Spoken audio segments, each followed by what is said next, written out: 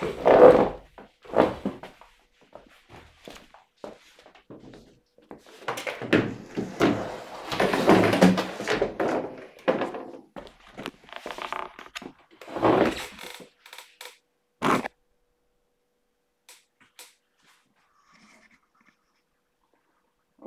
this is a full view of how I envision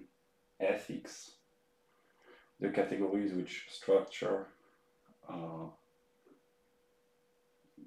an ethical life. Yeah, and what we saw before were the categories simplified which structure uh, a whole and entire society.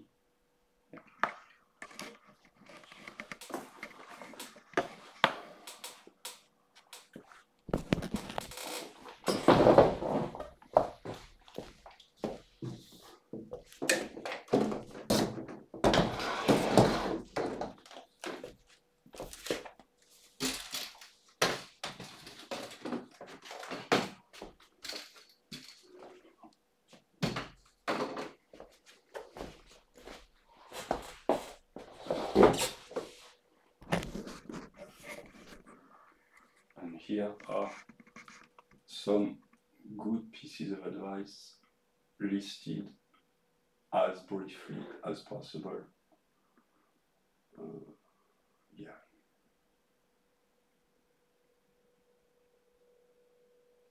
I try to gather the greatest amount of useful uh, pieces of information uh, in the shortest amount of time and space. Yeah.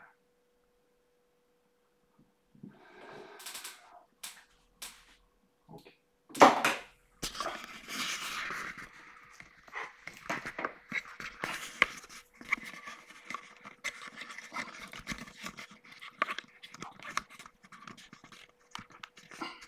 Do we see? Do we see? Okay. Uh, yeah. Okay. so, uh, as I start recording this, we are the 12th of September 2023. And uh, I intend to talk for I don't know how long about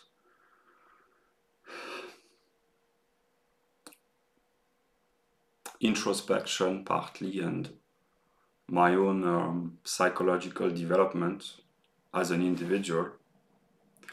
I don't do this very often. Uh, usually, I try to talk about uh, scientific, in the broadest sense, uh, topics, but here uh, I will talk about uh, my own personal life uh, in some aspects.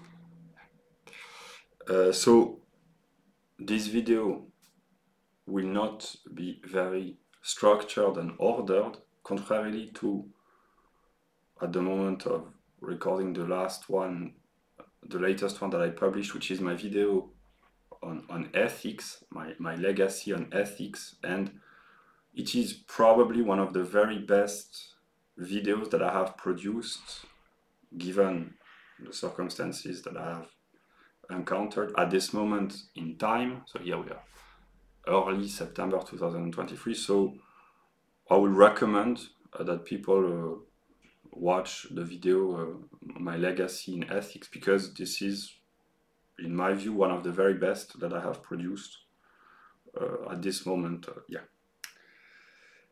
Uh, so I have listed a few few um, topics that I will that I intend to talk about. Um, yeah. first about talking publicly uh, on, on, the internet, for instance. Uh, we live in a, in a global village, and if I could give a good piece of advice to anyone uh, watching this, uh, is to, to be aware of this. Uh,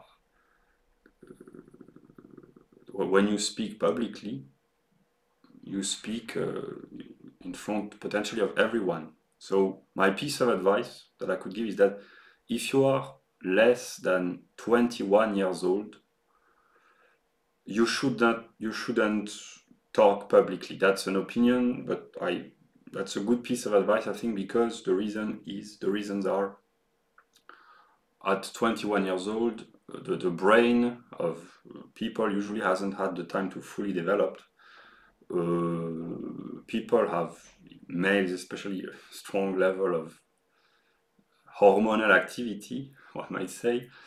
They are not necessarily very mature or wise or there can be there are exceptionally uh, gifted uh, young uh, adults or teenagers who are wise beyond their years but most people especially in the modern western world when they are 21 years old or, or less they are not very mature most of the time. I, would, I, would, I would even be tempted to to put the, the, age limit at 25 years old? Because as far as I know uh, studies in uh, neurophysiology uh, say that basically the brain structures itself completely towards the age of 25 I'm not sure here it has to be checked but basically your brain up until probably 25 years old is not even fully mature. Yeah so ideally a good piece of advice is people really who are young or who think that they are not necessarily very knowledgeable or wise, you, you, can speak publicly. But if you are not, uh, if, if you think that you are not very wise or very mature, or if you are not sure that what you have to say is relevant or enlightening or uh,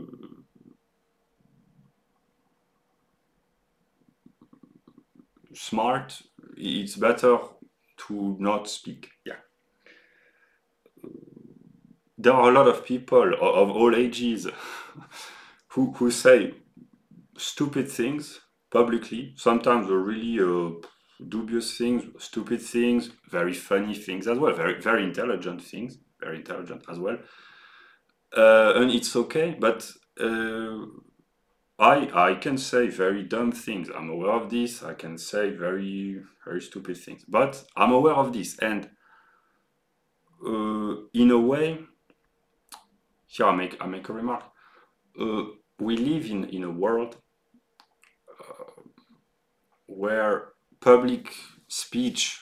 Here I talk in the case of the West, especially public speech coming from the figures of, of, of authority, of moral or, or, political authority, has become in a way bland and insipid, precisely because people they are conditioned to, to try to be as what they call politically correct, but as a, as a, morally, politically uh, correct as possible to, to try to appease and please everyone, etc. And the, the intention can be good, but the result is massive collective deception and or self-deception, which very often leads to serious problems for a lot of people. So taking the other uh, alternative, which would be being consciously prov provocative, trash talking, uh, being insulting, etc. It's stupid. Respond to, to this.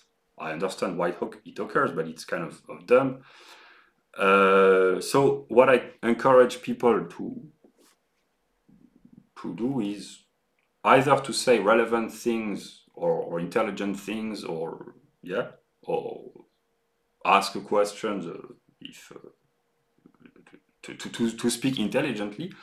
And if they want to be provoking I, I recommend that they try to be thought provoking and not provocative. That's a piece of advice uh, that i can give. Uh,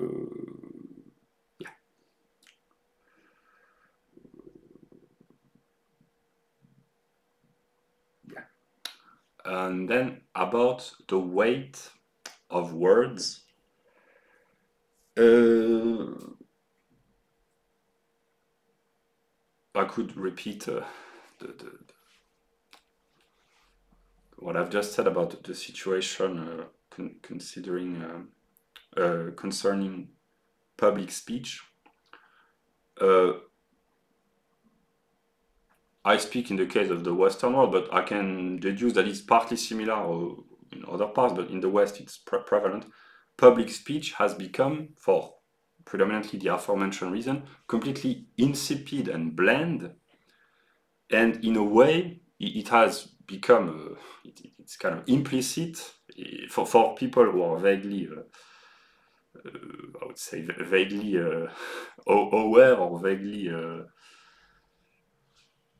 vaguely awakened, one might say, about uh, the realities politics, the media, etc., that most of the time public speech is completely bland and insipid or stupid or deceptive or, uh, or all, all at once. Yeah, and in a way it, it has become, uh, especially among the, the younger generations, in the West who have had access to alternative sources of information, it has become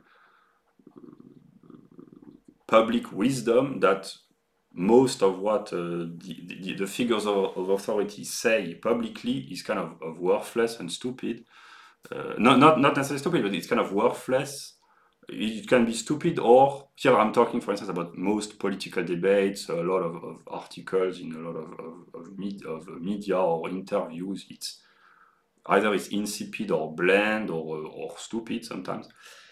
So the, the words that people utter in public, most of the time they have become meaningless uh, in this sense. And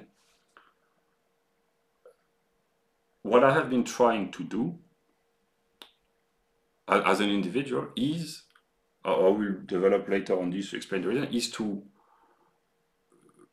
to give more weight to to my words it's not always the case. I can say dumb things stupid things things that i regret uh, or that uh, i say uh, because it's part of speaking as a normal human being.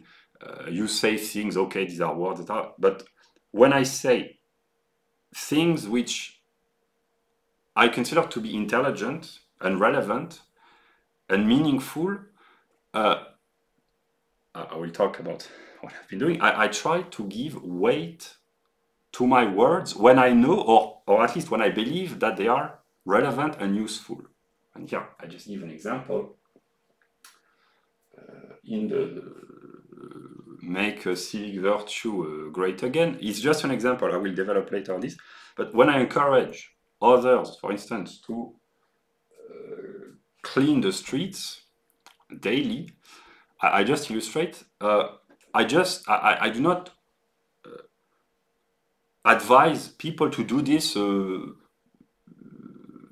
meaninglessly. When I say this, I, I, illustrate. I have started doing this as far as I can remember in October 2022.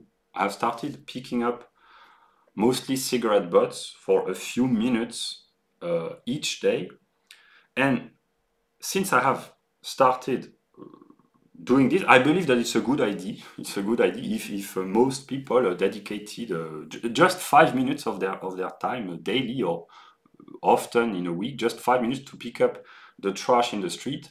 If a lot of people did this, the streets of most Western cities would be cleaned uh, very quickly, and they, they would remain clean.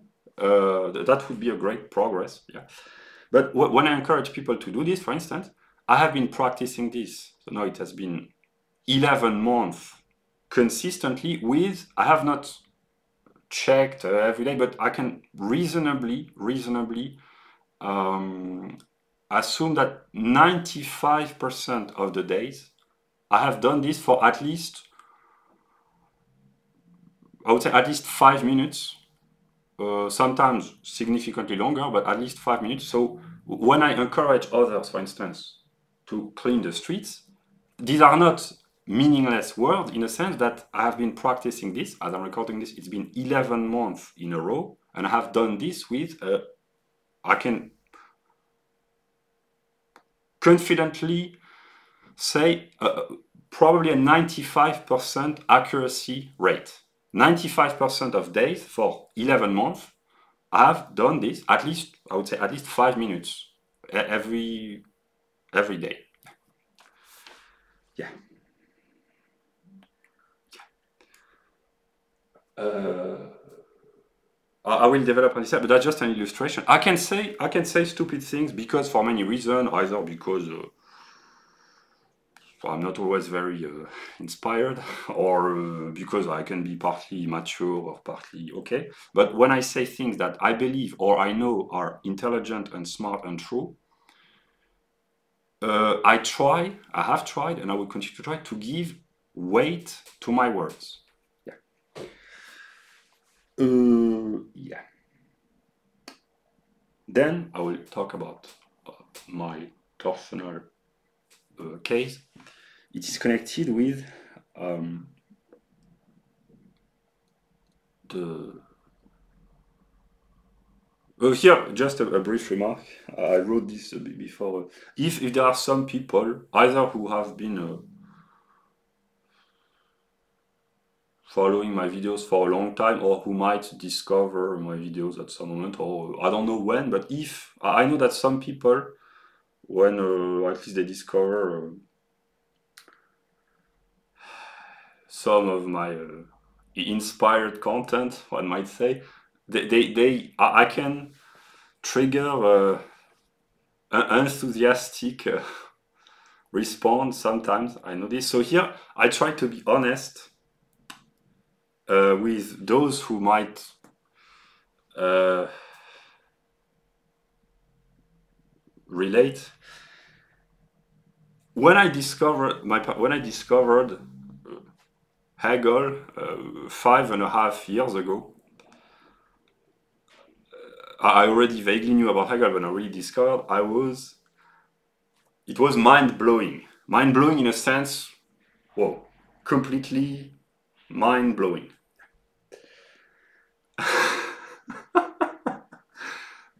five, five and a half years later, my relationship with Hegel, well, there are ups and downs, one might say.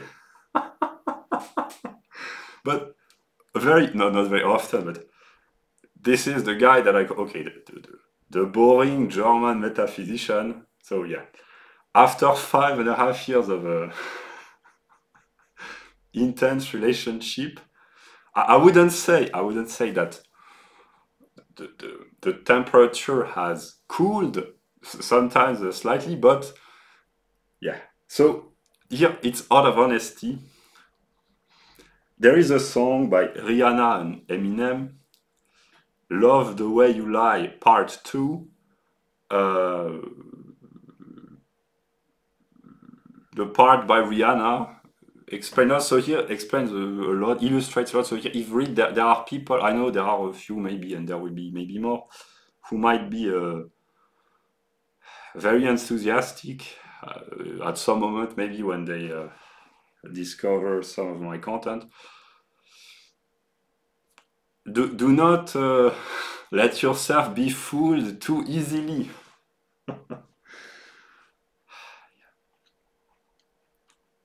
Seriously, I am uh, I am glad when there are people who appreciate uh, some of the things that I produce. I would I would lie precisely if I said that I, I am not happy or grateful when I notice that I can bring a good uh, to others, but yeah, it's it's difficult to say, but uh, try to to remain cool-headed as long as possible. Uh, yeah, yeah.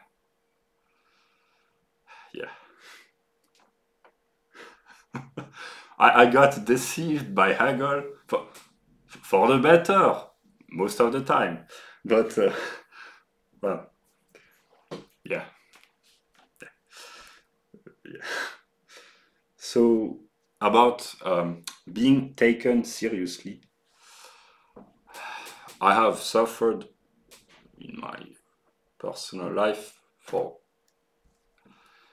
a long time now for various reasons of of not being not being taken seriously. So it's part of my uh, one of my um, I wouldn't say psychological problems, but at least um,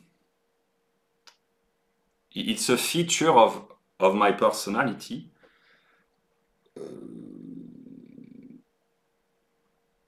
I um, because th there was a moment, still is the case, when I a moment in my life when I tried to share uh, thoughts, ideas, which I believed and actually knew, and yeah, believed were really important, and I was not, uh, I, I did not succeed in communicating. I understand why, and I understand why there were misunderstandings. I understand more and more why there are misunderstandings, but uh, this explains, and I, I, here I'm kind of intelligent enough to understand that it explains a part of my psyche.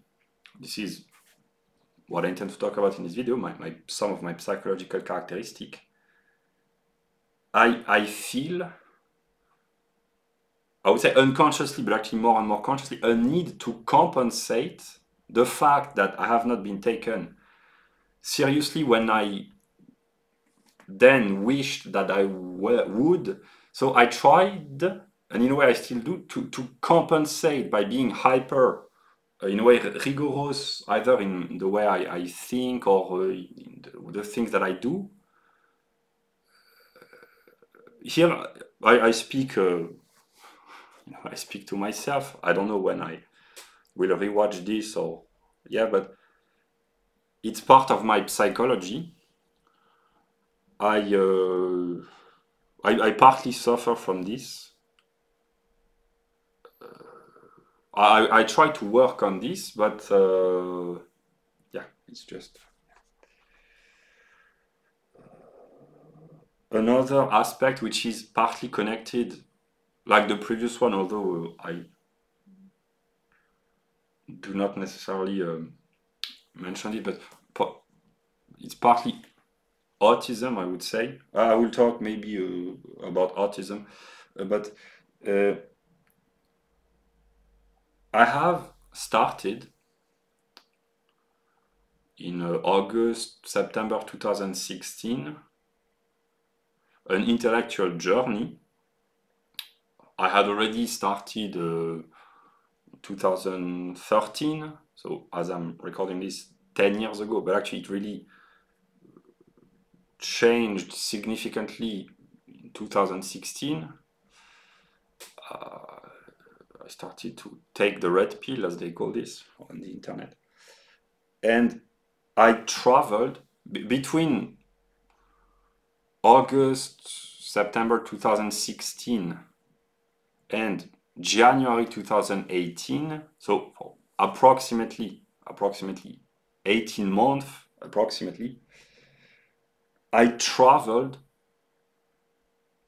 uh, intellectually and spiritually uh, at an extremely fast pace, and I, I visited the, entire spectrum of, of, of human knowledge very uh, superficially because it happened extremely fast, but I if I could formulate this, I let unconsciously, but the, the totality of world knowledge uh,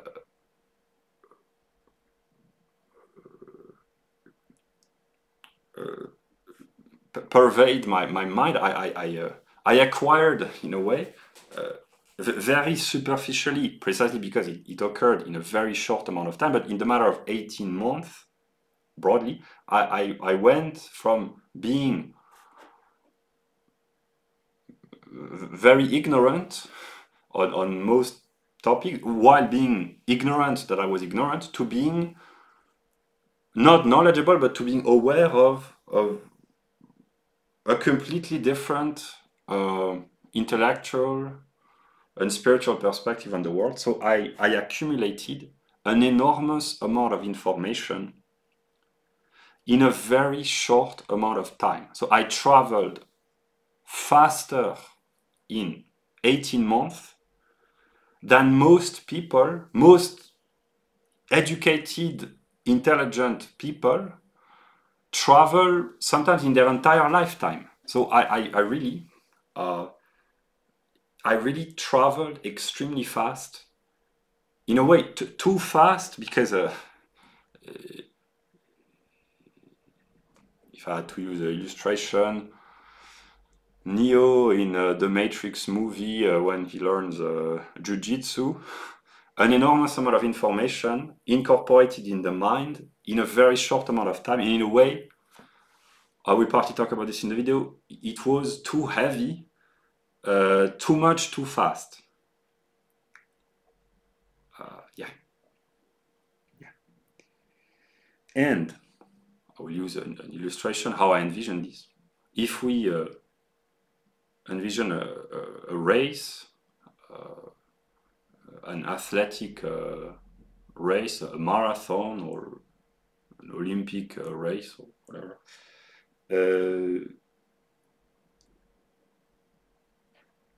I that's a way of, of, formulating, but it's like as if I started running.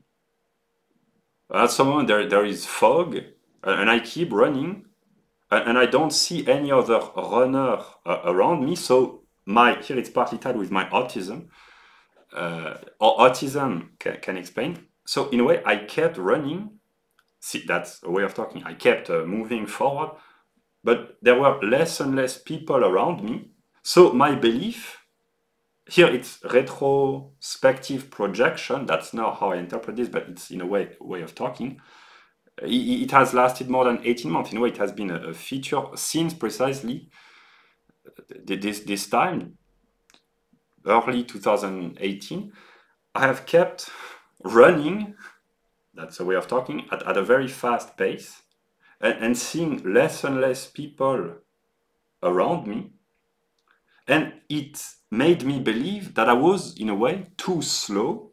And here it's connected with not being taken seriously when I have had the opportunity to interact variously with other people uh, for the past, uh, you know, five, let us say five years,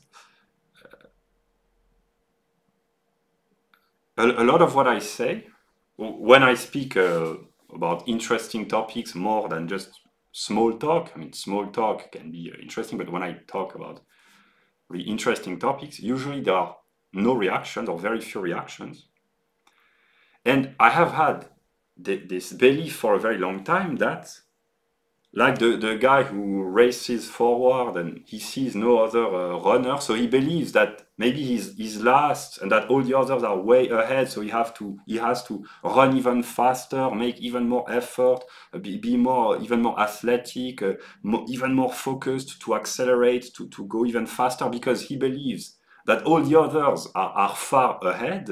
I, actually, here it's not to say, oh, I'm bragging, I'm super smart. No, precisely no. But actually, it's maybe the reason why I have been alone on my mental, intellectual path for a very long time is not because I was kind of dumb and, and all the others, uh, they, they do not react when I talk most of the time because what I say is not interesting, which is which has been the belief that I've held because I had empirical reason to believe this.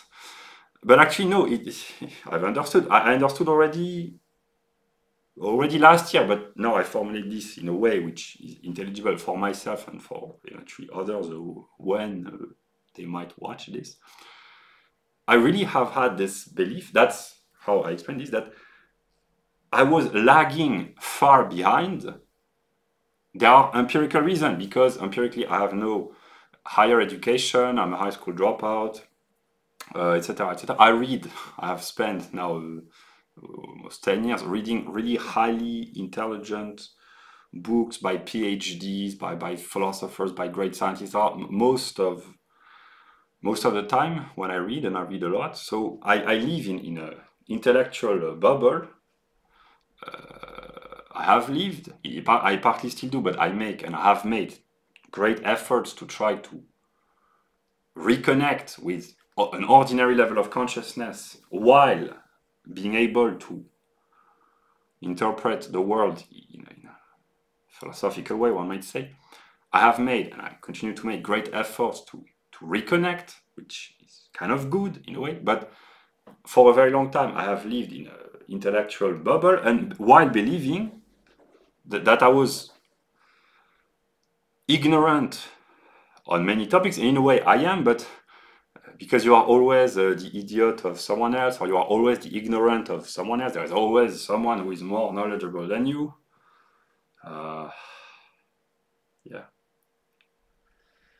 but uh, I um, here again I, I am progressing. I, this video is partly will partly be about my my psychological development. In a way, growth in the, in the good sense that I improve. Uh, there are many problems.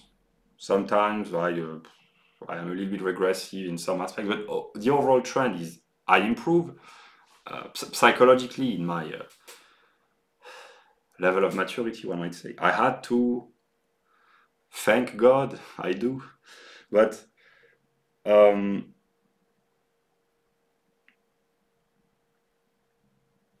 here I, I, make a remark that I've already made, but Newton made this remark already when you become really smart and knowledgeable, uh, you become aware of your own ignorance. Paradoxically, it's not paradoxical, it's dialectical. The more you learn, the more you become aware of all the things that you are not aware of in, the gigantic field of, of, of knowledge. So, actually, the more you become knowledgeable, as, as an individual, and, and eventually in relation to most other individuals, the more you become ignorant in, in, uh, in relation to the, to the perspective of the totality of knowledge that you might envision. And here, every uh, great scientist is aware of this. Uh, every discovery is like uh, discovering a, an, an, uncharted island in, in, a gigantic ocean. So the, the, the, more you discover something which seems to make sense and, and be uh, correct in the realm of science or knowledge, the more you become aware of a, a vast, uh, greater uh, potential number of, of, topics or fields which uh, become even more obscure. It happens in physics. Uh, the, every time there is a progress in science, of course, it, it's good in the perspective of understanding the world, etc. But um, usually, it opens even more complexity. Uh, yeah. So that's why a form of super intelligence can lead to stupidity. I'm aware of this. I try to work to to be less stupid less often. But it's, again, it's dialectical. When you are when you become really super super smart or super super knowledgeable, actually, you become kind of dumb in a way. Yeah, yeah, yeah. I'm aware of this. I'm aware of this. Okay. Now about autism. Oh I have a lot of problems and I understand when people they have problems they need they have a psycholo psychological need to put the burden of, of suffering onto an entity to relieve to, to alleviate the burden of suffering that's how human functions that's how it is. When people suffer most of the time they seek uh, either a culprit or at least a, a, a reason, an excuse, or, or if it's not a culprit or if it's not an excuse, at least a, a reason onto which they can put the burden of their suffering, at least psychologically, and it, it alleviates a lot. It's true. So I try, I try to the best of my psychological abilities given my development. Of course, when I suffer, I, I'm like uh, everyone else in this sense. It, it feels better to have an entity onto which you can put the blame of, if not the blame, the burden uh, of, of uh, the weight of uh, suffering, when you can find something or someone, if it's something, it's better than someone, because yeah, when you can find an entity onto which you can put the burden of suffering, it makes you feel better because you feel less guilty. And humans, they need this. I understand. I understand. And I try. I try.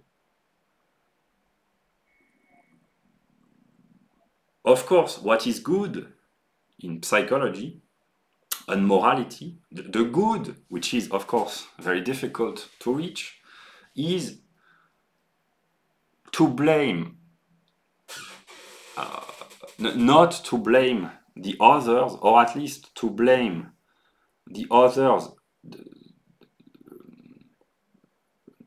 less, uh, the, the, least amount of time, and if others have to be blamed, it's more fair to blame those who are more intelligent, more powerful, more privileged. I understand.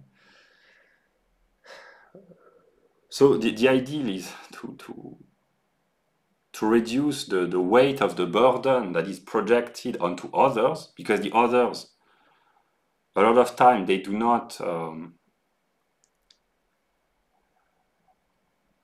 they are not responsible precisely. Yeah, words of wisdom. It's difficult to, it, it's very easy to say wise things. It's very easy. Uh, but to be wise, uh, it's more difficult, obviously. But my uh, my psychological, uh,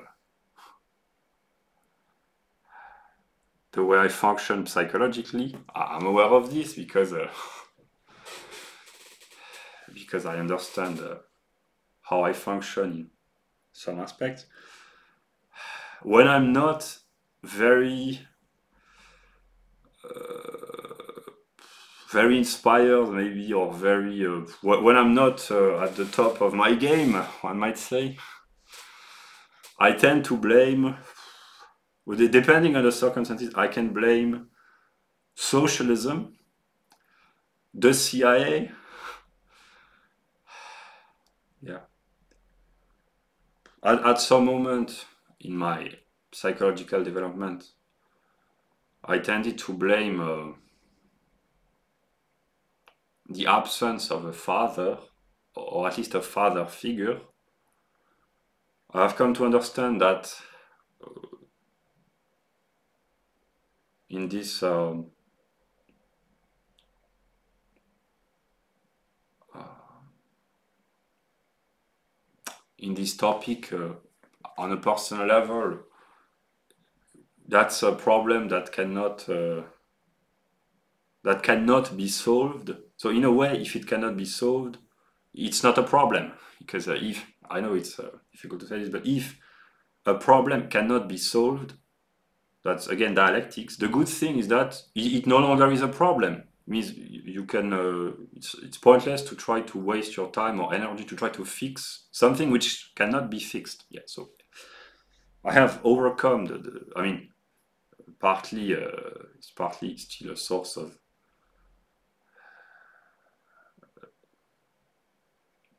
it can alleviate to say, ah, if I had had a father uh, who had taught me clearly to do this or do that, I would have led a better life. I would have made better choices. It's it's very appeasing and alleviate uh, it alleviates a lot of, of suffering to to imagine this. Yeah, but for reasons that are too complex to mention here.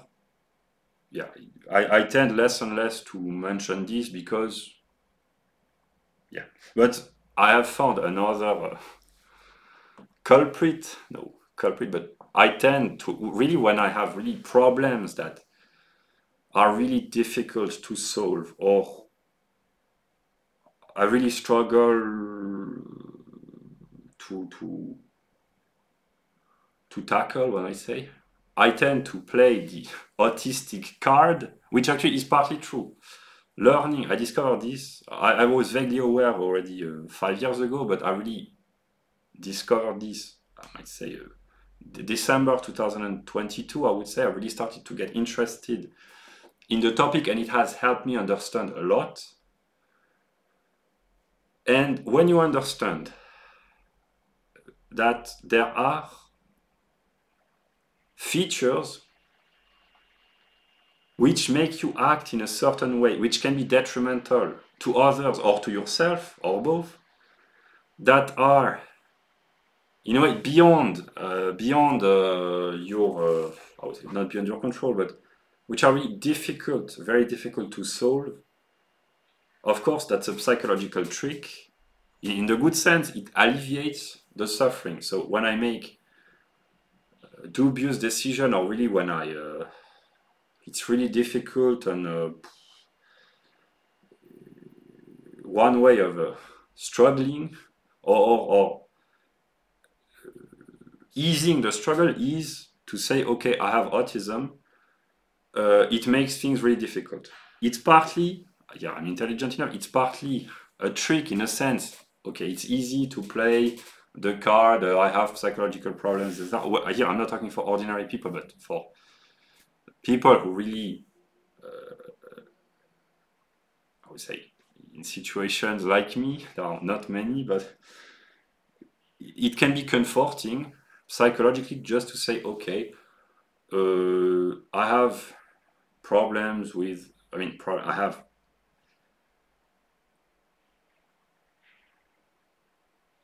these are features of my personality. So I, I understand, I understand when really it's really difficult and I struggle to cope. I say to myself, okay, uh, that's autism. I do a lot of effort, but there are certain things which are really more difficult. So that's one way of appeasing. Sometimes it's dishonest in a sense.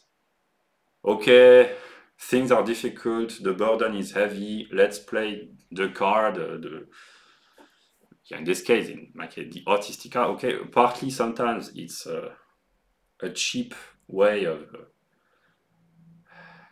alleviating the burden, but partly here when I'm in a way kind of serious and honest with myself in a good sense, when I I'm compassionate with uh, with myself because sometimes uh, things are very, very difficult and uh, there are things that I cannot I cannot solve uh, because uh, yeah in this case, I say to myself, okay, uh, things are the way they are. Uh, there is uh, no other option than in my, my own psychological relationship with myself to say, okay, that's autism. Uh, that's how it is. Uh, there is suffering. Either there can be suffering with indifference or, disdain, self disdain or self pity, etc., or simply self compassion, which is kind of good in this sense. So, yeah. The same happens partly with schizophrenia. Yeah. Uh, here I will talk about dialectics in my psychological development, it has happened often, when I say, that I, I try to do something which I really believe, genuinely believe is good. And at some moment, I discover that actually it, it, it was not good or it was good, but it brought about negative consequences. Therefore, it was not really good. So the, this dialectical trick has happened to me a lot of time. When it happens for the first time, uh, well, you are kind of uh, psychologically devastated, one might say. But when with, with time, the passing, you get used to it in a way. So here, I laugh because I, I would, maybe I will talk about this about, about laughter. I laugh because sometimes there's no other uh, solution, I might say. Uh, but I've understood in my psychological, intellectual development dialectics uh, in the sense that very often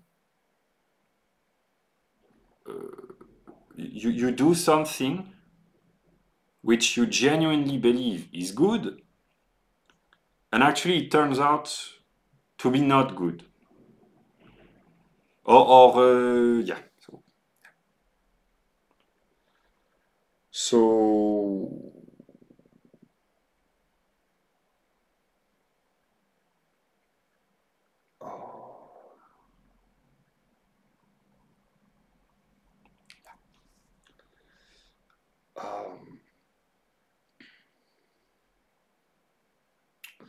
then about uh, what let us simplify what is good versus feeling good. What is here it's really simple simple uh, it's not very complex but what is good would be objective let us say and feeling good would be a subjective feeling. Uh, I've been watching uh, more or less uh, regularly at various intervals people talking about um, Christianity, uh, mostly uh, Americans deconstructing from Christianity, as they call this. And here I will make a, a few remarks. Um, I understand here it's, it's valid for not only Christians but for all people eventually, I understand that uh, people they uh, they um, in a I would say they, live through their feelings. I understand. And here it's a, a, a recent development, so it's part of my progression. There are a lot of people who live in objectively good circumstances in the broadest sense, the, the, the, the environment in the broadest sense, socio-economic, cultural, uh, in the broadest sense. The, the conditions objectively, if we compare with either in time or in space, the conditions are good. Here, I will mention the book that I already mentioned, the book by Mr. Pinker, uh, Enlightenment, Enlightenment Now, the case for reason, humanism, progress, science, etc., etc. So there are, actually it's, it's a human universal, there are situations where the objective conditions socio-economic, cultural, political, or, or, or, even psychological, the, the, conditions are relatively good, but people, they do not feel good. And th there is the opposite as well. There are situations which can be envisioned as being bad on many socio-economic aspects, etc. But people, somehow, they can feel good nonetheless. There are the two aspects. Uh, yeah, but so here I understand. I, I develop my psychological faculties in terms of the ability to relate with others and to improve. That's a new development. I become a better psychologist. I have had the, the metaphysical, uh, partly insane uh, phase. Now I improve, I become better psychologically in the ability to understand others and to understand uh, maybe their needs. Yeah. Because it happens to me as well.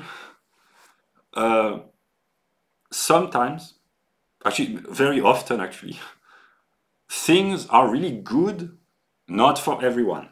Not for everyone, not everywhere, not at all times.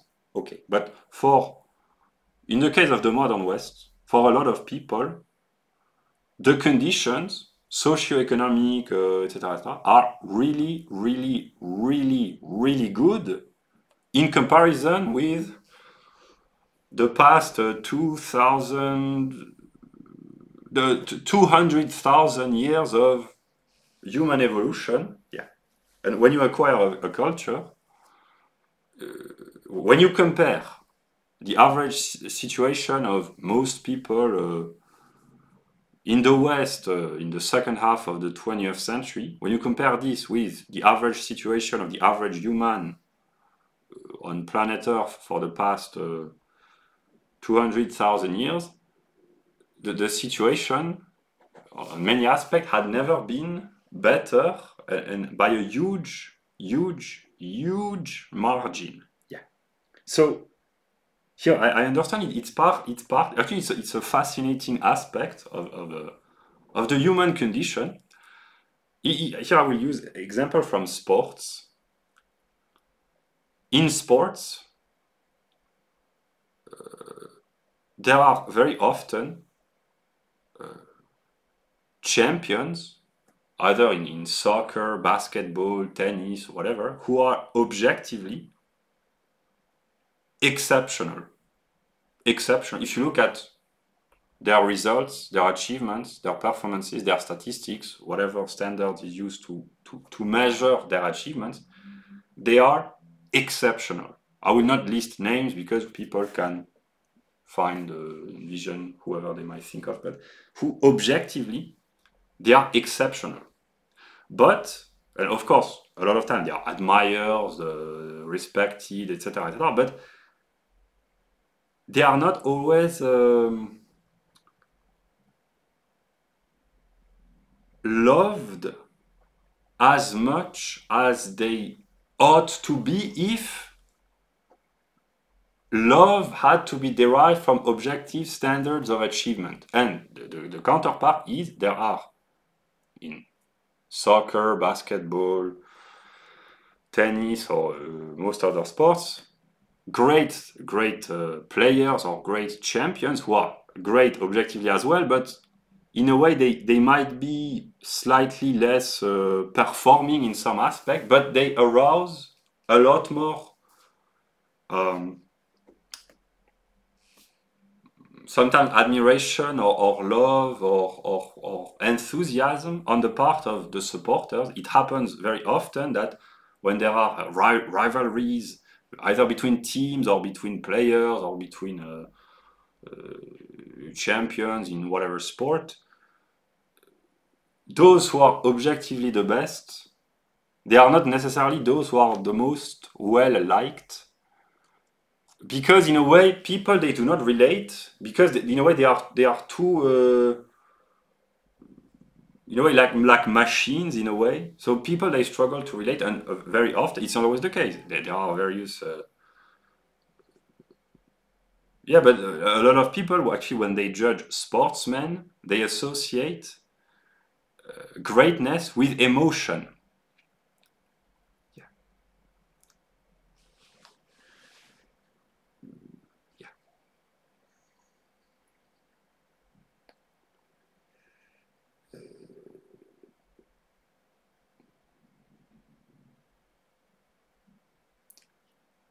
That's why there are a lot of people who live in relatively good conditions, but they do not feel good. Yeah.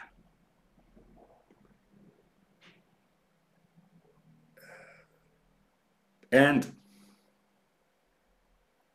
there are a lot of people who they, they are loved, but they do not experience this as being loved. Uh, yeah, and I understand, I understand, I understand.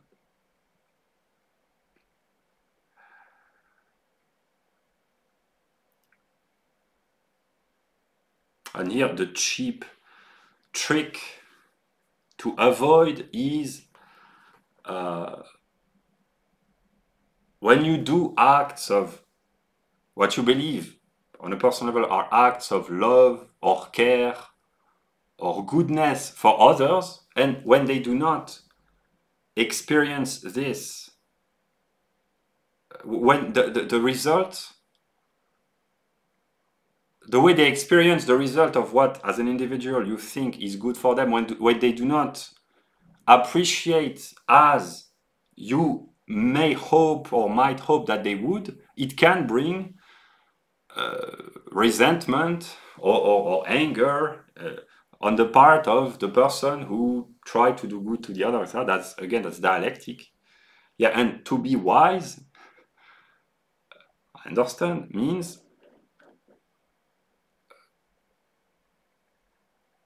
I will say intelligent things. it's very easy to say intelligent things. It's much more difficult to uh, to apply them. but when you make a gift, you should have no expectations. Uh, yeah, when you make a gift, if it's genuine, you, you should expect nothing in return. I mean, you should not expect, but you shouldn't expect necessarily that you will be uh, loved back. Uh.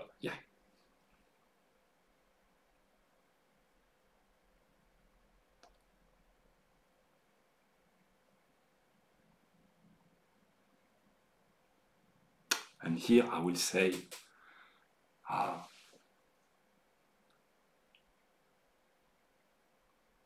profound words, maybe. Um,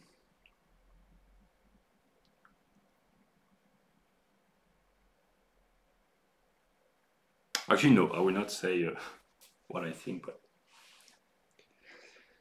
uh, yeah.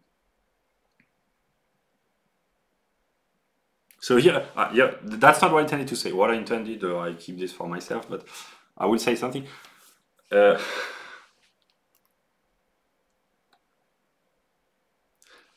I can be clumsy or dumb.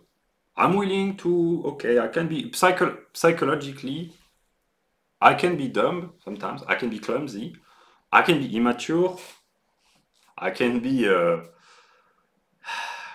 I can be, uh, well, I'm so intelligent that I, I yeah, that, that's, that's, that's kind of,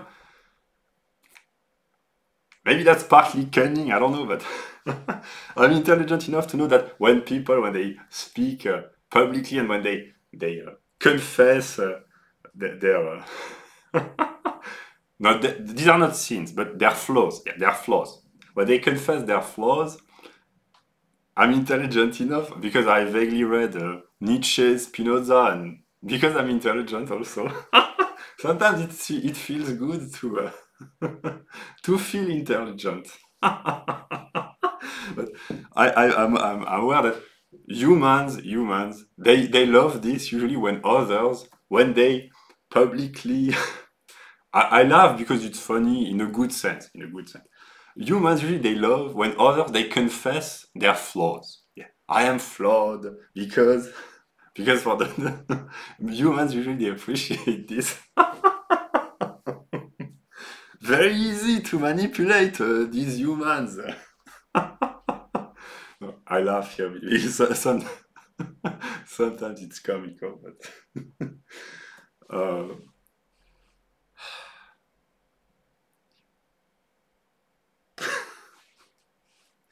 Yeah.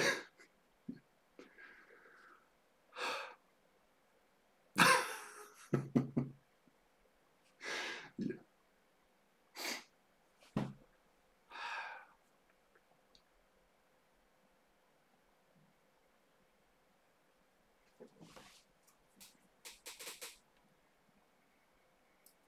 Love hurts whether it's right or wrong.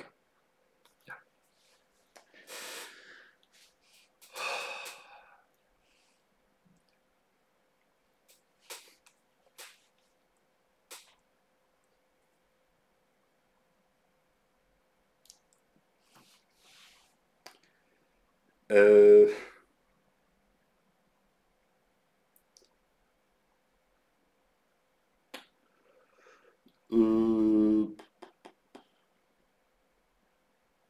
here I will comment briefly uh, a few remarks about good and evil. It's partly connected with what I've said earlier. Um, I have understood over the past the past year, one might say. So here, as I record this, we're in September 2023. Here, that's really that's really connected with autism. Now that I've understood, I will try not to use the autistic card, but I've understood. Uh, here, I, I, have to praise um, a person, an, an, autistic person who makes videos, and he mentions this uh, in some video. It has helped me a lot to understand. Um, it has taken me a long time to realize that actually uh, often uh,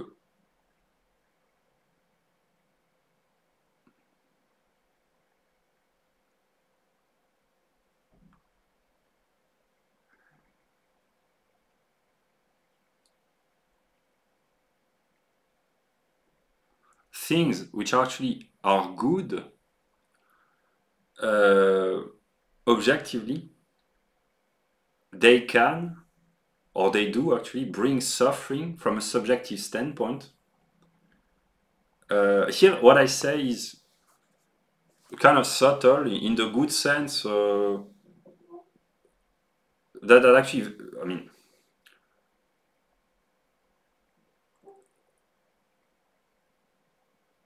very few uh, thinkers uh, uh, understood this, or no, no, maybe no, maybe not no, but very few um, talked about this in an intelligent and subtle way in their uh, philosophy. And here I have to praise Nietzsche, who that's not how he formulates this, but he was aware of this. Hegel as well, uh, and others, but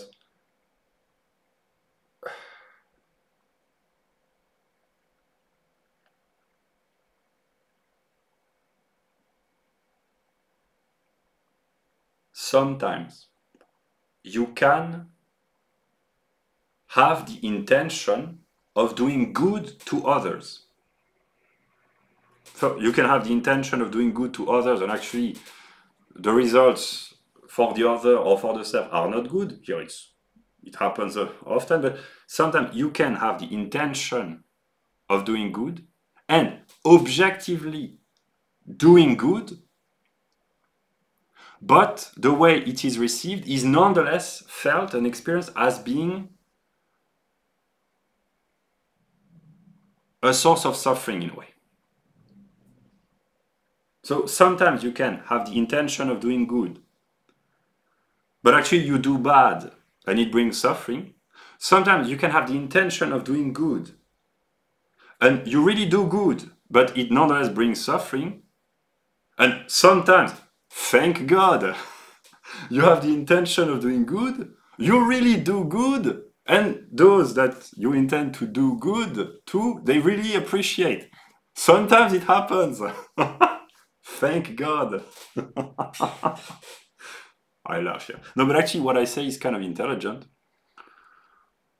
Uh,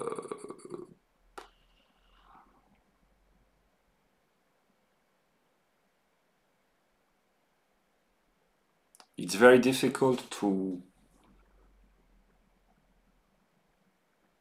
it's very difficult not to understand because yeah empiricism can be useful but it's very difficult to conceptualize but actually hegel knew this yeah. but uh, the problem the problem with with this it's tied with the dialectics when you believe that you are doing good, genuinely, you, you genuinely, be, you can genuinely believe that you are doing good and actually you are doing really uh, things which are uh, negative, yeah, but sometimes you can really believe that you do good and you can do things which are which can be reasonably considered to, to be good but it nonetheless brings suffering and when you realize this you can have in a way some sort of an existential crisis. Because it it's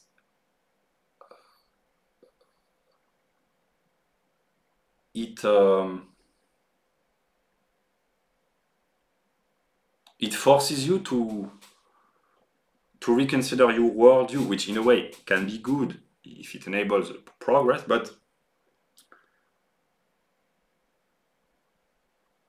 it's not that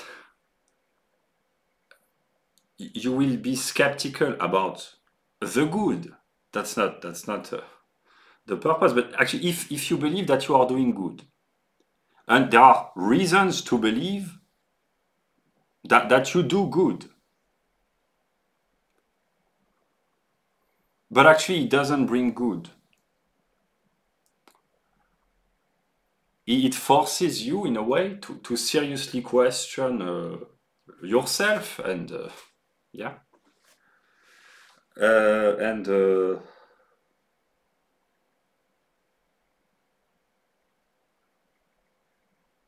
and here again, the trap the trick to avoid is again if you do good and you believe to do good but actually uh, those that you try to do good to they do not appreciate the way you believe that they might appreciate or whatever or they do not uh, reward you the way you might have expected them to reward you or whatever then you can it can turn into uh, resentment yeah, that, that's a trap, that's a trick to avoid.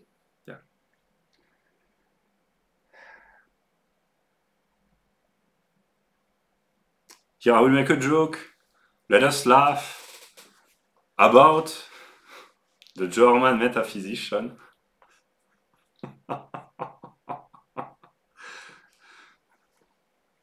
Let us laugh because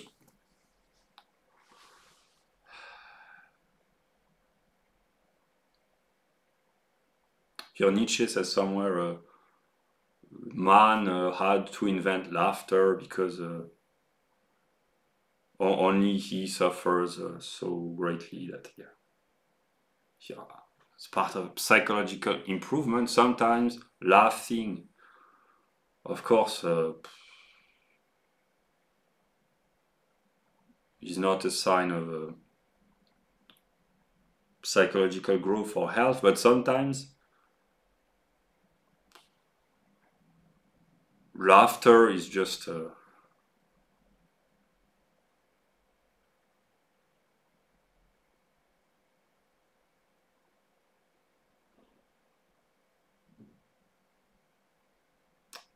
I will not say what I was thinking precisely because what, yeah. formulated without the the way I envision it. but Basically, the German philosophers uh, when you when you wander through life when you understand here i have to praise i have to praise the genius of nietzsche and, hegel. I can at some earlier in the video i talked about the, the boring german metaphysician. The good thing I will, I will i will be enthusiastic. The good thing about hegel is that is that even after many years of uh, a difficult relationship sometimes hegel here that's one of one of the greatest praises maybe in the chronological perspective i don't think that i have praised hegel in such an intense way for a very long time. But Hegel still succeeds in surprising me for the good. After all those years, I'm still surprised by the the depth and the gene the, the genius of Hegel.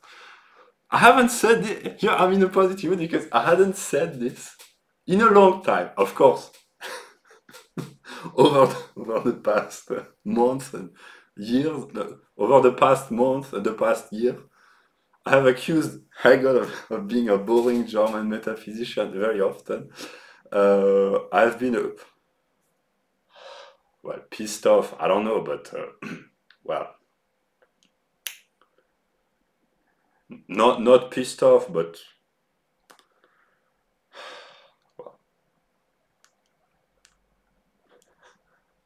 but it hadn't happened to in a while to be amazed by the genius when it happens.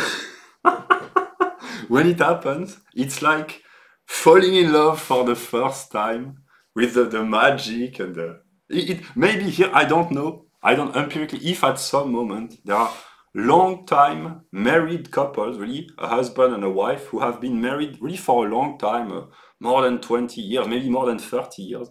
If after all this time your wife or your husband still succeeds in reviving the the flame of passion that arose, uh, I don't know, 15, uh, 20, 25 years earlier, I don't know, if your partner still succeeds in blowing your mind after many years of marriage, I don't, I, I, I can, maybe it does not happen in a lot of couples, but the couples in which it really occurs, like the, I don't know, a couple they are in, in their 50s or 60s or maybe 70s, and they still have moments of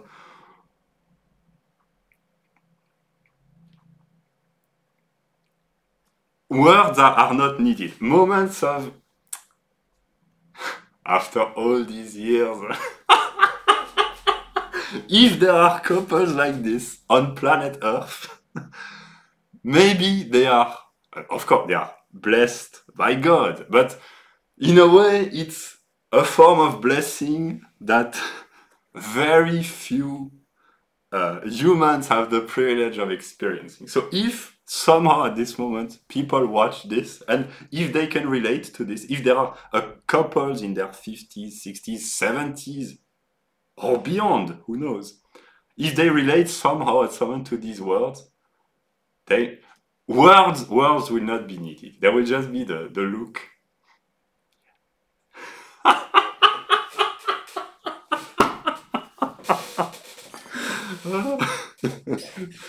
I'm in a positive mood. I'm in a positive mood. It's not. It's not always the case. I had a complete mental breakdown uh, this this morning. but uh, yeah.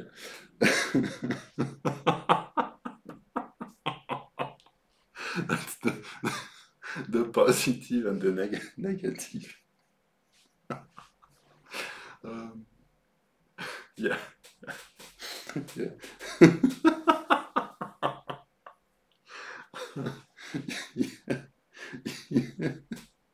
Who said that Hegel was a boring German metaphysician? Who is the idiot who had the audacity of accusing Hegel of being boring? I wouldn't want to to live with this to live with this guy. no, that, that's a joke. That's a joke. that's a joke.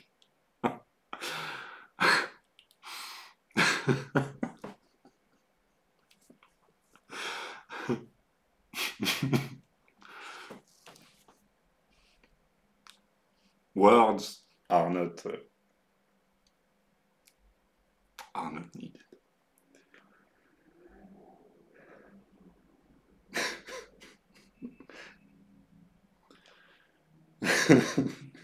I could stop. I could stop the video here. yeah.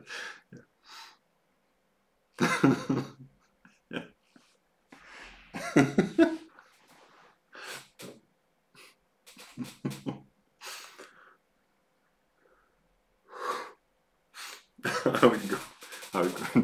Glass a glass of water.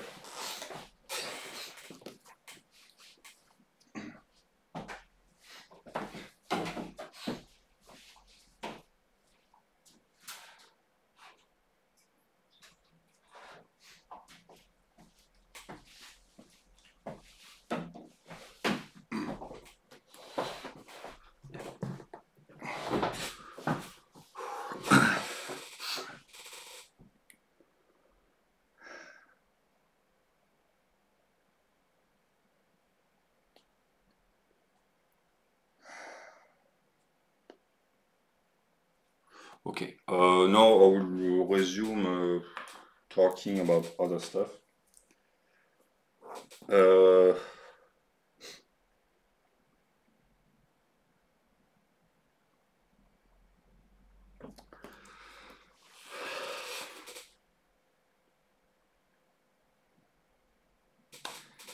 uh,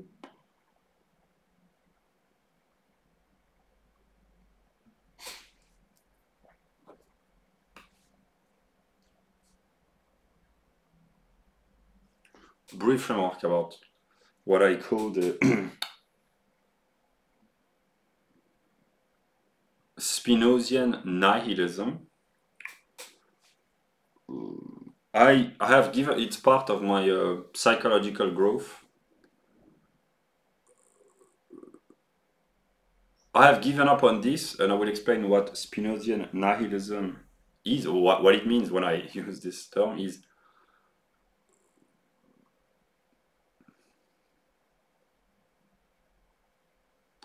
when you are confronted with difficult problems, uh, actually that's that's what I have tried to do for a for a long time, especially in the year 2022.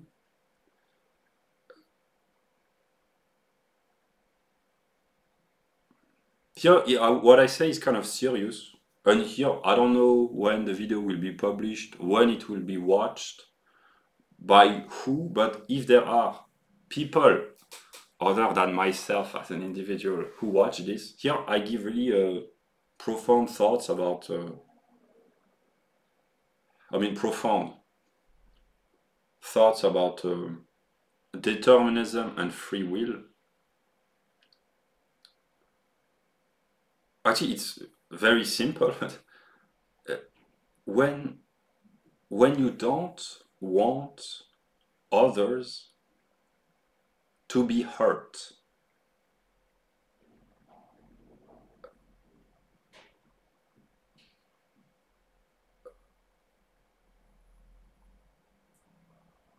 well of course you can try to, to limit, reduce, or prevent uh, to, to, the, to the greatest uh, extent possible to, to limit the, the physical, psychological, emotional suffering. Yeah. But when you are in a situation where you can't do that for whatever reason, you don't succeed there is suffering, emotional, psychological, uh, physical, uh, mental, there, there is suffering. How do you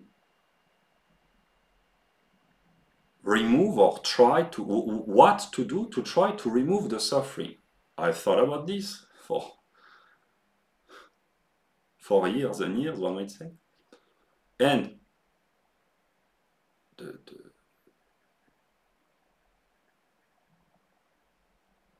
the solution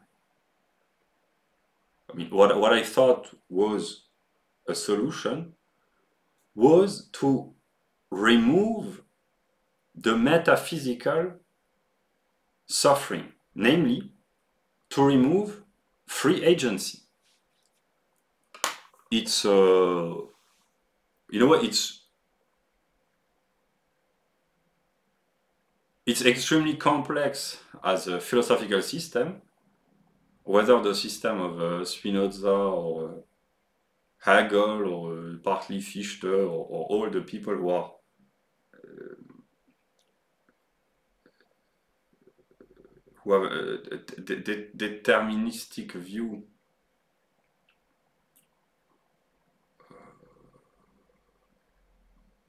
of uh, I wouldn't say of, of of, of free will precisely, but those who have a, a deterministic view, uh, just a deterministic view, and the, the, classical example in philosophy is Spinoza. And Fichte, partly because he was intelligent, he, he praised in a way Spinoza by acknowledging that to be a rationalist means necessarily to be a Spinozian, and Hegel incorporated uh, the Spinozian moment in his system, what did you expect? Yeah. Uh.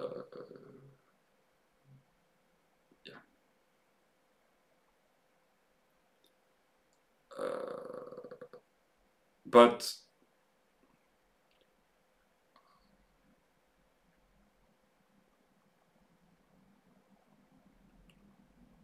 here I, I I say uh, what what I have been doing for a very long time, especially in the year 2022. I have pre precisely I have given up uh, consciously on this partly not because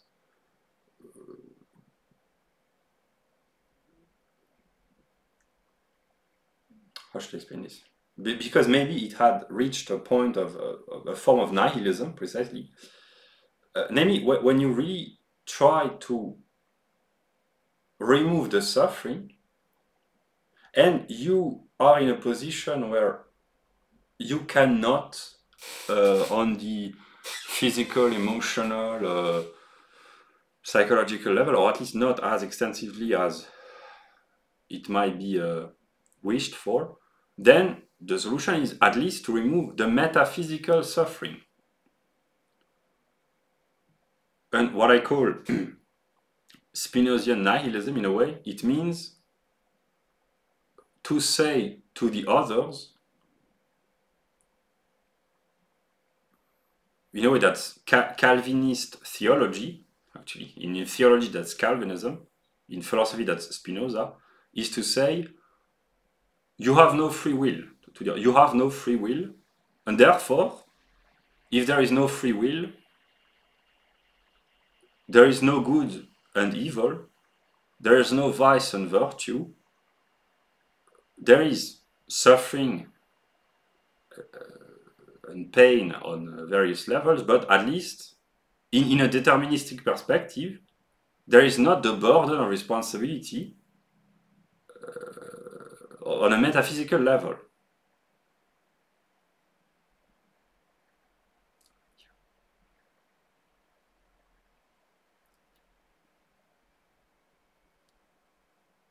So again, it comes from a good intention to try to, to steal, not to steal, but to erase the liberty of others.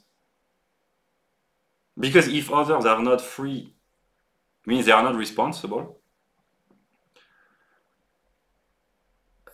But it, it, it comes from a good intention. It's partly good because people I can anticipate when they, uh, at some moment, when uh, the, the, the ontological structure of reality will, will be revealed, a lot of people they will say, okay, we were quite satisfied. No free will. That's okay for most people. And if they can say, okay, we had no free will, that, that's, that's okay. I, I know a lot of people, if uh, I, some plane of existence. Okay, we uh, okay, that's okay with us. So okay, yeah. So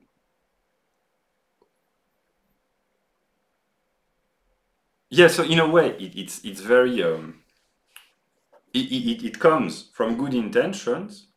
It can do a lot of good, but it can also turn into it can become problematic because if you say uh, to people, I, I'm trying to steal your freedom, but, but it's for your own good, people, they, they start saying, uh, they, they might become skeptical, and, and yeah, Th- that's an illustration of, uh, of the dialectic. And I have set this view aside. I need to use Spinoza to to I would say to win every debate.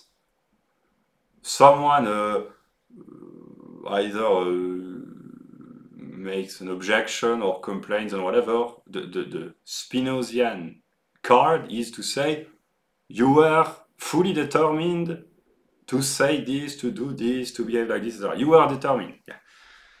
Using this this card, it's uh, at, some point it becomes uh,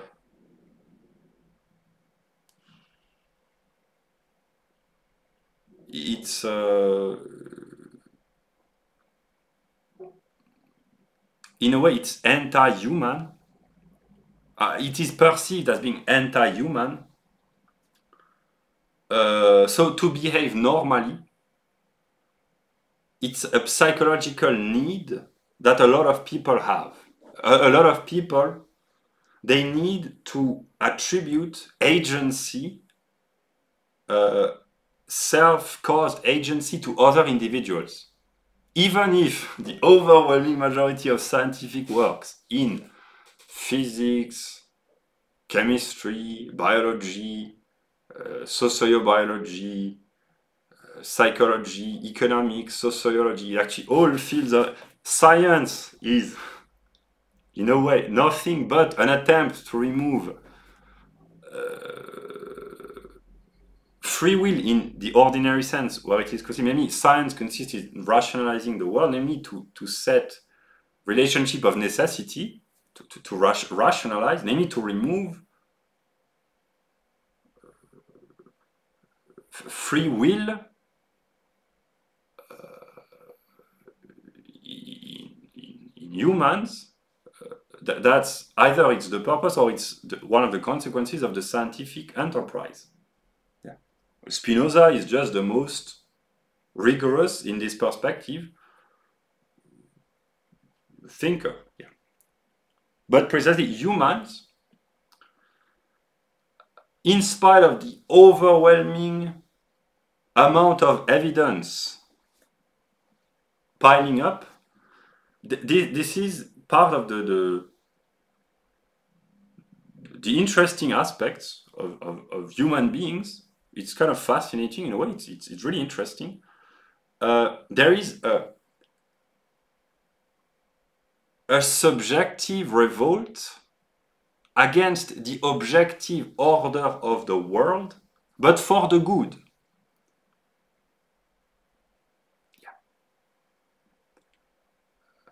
Namely, there can be a revolt, a psychological revolt against the objective world order because it's too dif- difficult or too uh, con- constraining or too, uh, too, too difficult and yeah but there are those who revolt revolt that's the way of talking they revolt against science. Actually they don't. Science can yeah but that's how they explain this. Namely they, they, they um, unconsciously that's what most humans do because most humans behave as if all other humans had free agency. That's a, a classic in philosophy. Uh, if all uh, if all the criminals are determined to act the way they do does it mean that they are innocent? Does it mean that they have to be released uh, from prisons? Uh, the cheap answer is to say that maybe uh, they are innocent because they are determined, but the judges and the policemen who put them into jail are as determined as the, the criminal. So they are as uh, innocent in. Yeah, that, that's kind of the insane uh, philosophical, theological perspective, which actually makes a lot of sense, is that if from a, a Calvinist, Spinozian perspective, if human beings have no free will, it means that criminals are innocent metaphysically. Therefore, those who put them in jail are guilty because they are guilty of putting innocents in jail, but precisely the, the, the common sense response is to say that, okay, if the criminals are innocent metaphysically because in a deterministic worldview they have no free will, then the judges and the poli policemen who put them into jail, they are innocent as well. Innocent, innocent, innocent for putting other innocents into jail. Yeah. Yeah.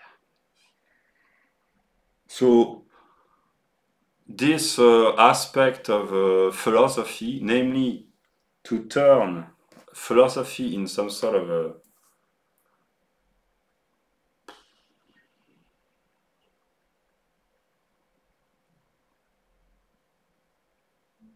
a contest uh, of, of, trying to outsmart, but in a in a in a kind of dubious way, other uh, no no no no not in this sense. Uh, no, that's really what I call Spinozian nihilism. There are a lot of good aspects about the philosophy of Spinoza, uh, but yeah, this aspect, uh, no. Okay.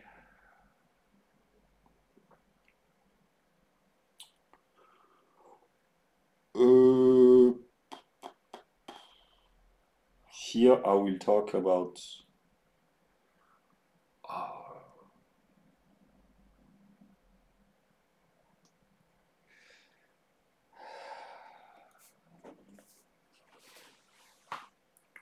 the perspective of the totality.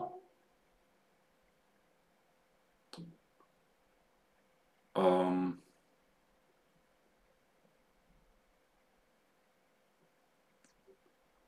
if one thinks about the world in terms of an organism, one total organism, which would be a Schellingian Spinozism actually, um,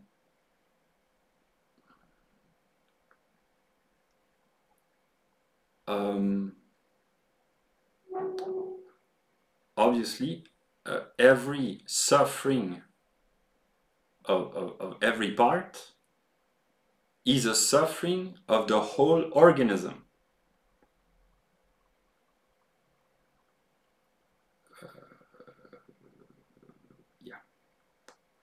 And when you are kind of intelligent, uh, it brings about a lot of anxiety. And in a way a lot of suffering because you are able to envision a broader perspective. And in a way the more extended your perspective is the more all-encompassing your perspective is the more suffering it encompasses in a those who only uh, care about their own individual perspective as individual. I'm not judging morally, but those who just, in this case, I'm, I'm not making judgment, but those who really live in their narrow, uh, self-centered. Here, it's not, it's non, it's non-judgmental. It's just to explain the people who just think of reality or the world or whatever as their personal self and eventually their few interactions, etc. you know, these people, when they have a good um, phase, they feel good. When they are in a bad phase, they feel bad or depressed or whatever. But their problems, they are limited to themselves as individuals. When you think, when you think, when you think, because thought is universal, the, the broader your, your range of perspective is, the greater the amount of, of suffering you incorporate, at least cognitively, and that's why intelligent people, they tend to be more anxious because they see, not necessarily with their eyes, but with their mind, they see a lot more problems, many more problems than most people who are more narrow-minded for whatever reason, uh, who are more self-centered. Here, it's a non in, in a non-judgmental way. I'm not saying the, the, the, those who have a broader perspective are uh, are better or no. I, I, just said they are more intelligent uh, in whatever sense is, is defined when they are capable of having a broader perspective. But precisely, uh, it, it, it brings very often a lot more anxiety and suffering yeah, that's another example, really simple example of dialectics. Uh, being intelligent a lot of time causes suffering, and being less intelligent often, here I will say partly things which are not especially um, profound, but also I would say very intelligent things that I have already been aware of. But in a way, in a way, the people who are more intelligent, whatever the definition of intelligence, let us say IQ, it's more subtle than that, more complex, but let us say for the purpose of simplification, people with a higher IQ in modern societies. In a way, uh, statistically, they tend, on average, to be better off in many aspects of socio-economic life, many aspects on, on average, they, they tend to be better than those who are less quantitatively intelligent. So it might seem at first glance that uh, the, the intelligent have it all good and those who are less privileged in terms of intelligence, things are more difficult. And in a way, it's true. It's true. In a way, in modern societies, life is much more difficult on many aspects for people with lower level of intelligence. It's true. And it's easier for those with higher level of intelligence. It's true on many aspects. But the counterpart is that here it's, it's I know when people it might sound oh bragging oh arrogant no precisely no but people who are more intelligent they are aware of this. Here I, I anticipate the people who are slightly, I, I no, no, no. The, the, the intelligent people,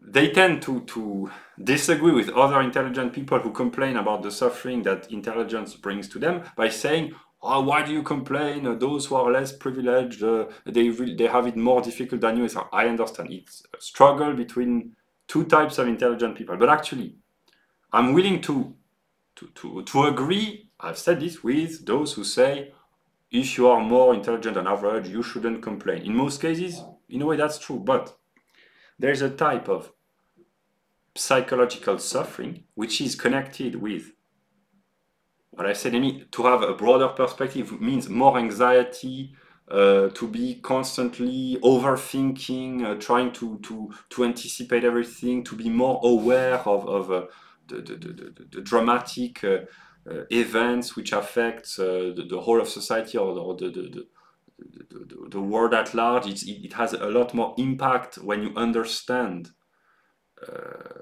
than when you don't. Yeah.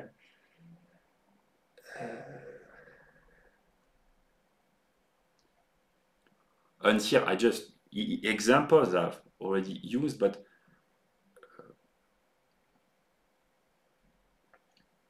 someone like Eminem or Kanye West Ye, as he's now called, but Kanye West, uh, Eminem, these are examples. Um,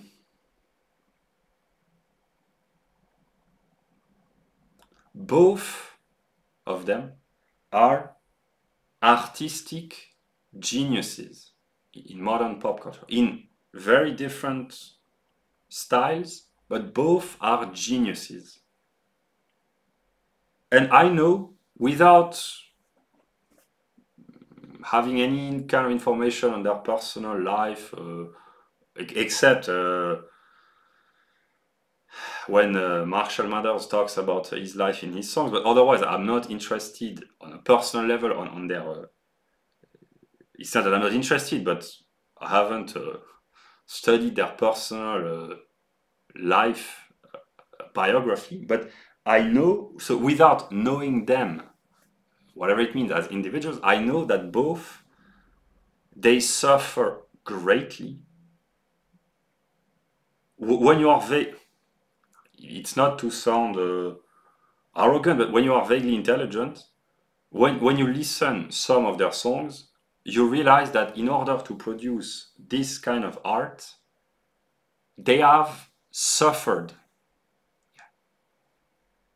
So the people who might be tempted to say, oh, they are rich and famous, they have a lot of money, so they have it all good. No, precisely. Uh, is Eminem uh, a great artist? Yes. Is Kanye West a great artist? Yes.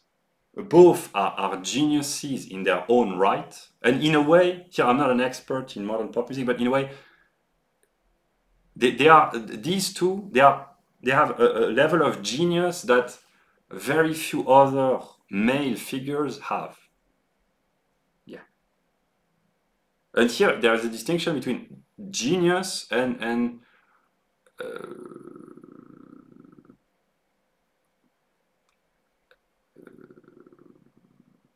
uh, appreciating their music because uh, you you can appreciate or not some or most of their songs. That's a right that people have. They have a right to appreciate and or appreciate a, moral right. But when you are a, when you have a culture, here in the realm of pop culture and just creativity, there are things you are not, uh, you are allowed not to appreciate, but you are not allowed, morally, when I say, not to acknowledge the genius. It's part of, of culture. When you acquire a culture, it works in all field. You, you have a right to your, uh, uh, a, a, right to, to private property of uh, uh, opinions, but uh, no, you, you, can have your opinions, uh, yeah, but you have to acknowledge when you are kind of serious and when you have a culture, you have to acknowledge genius and brilliance when it occurs. Yeah. And these two men, are they happy? Uh, I'm not sure. And I'm, I'm even tempted to say I'm sure that they probably aren't. They have probably moments of, of happiness, of course, in their life, but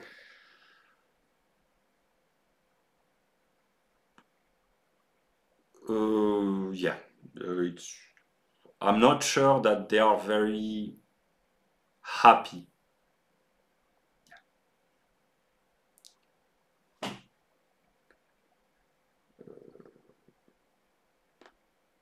So that, that that's a simple question to which I kind of know the answer. Is there talent? Is there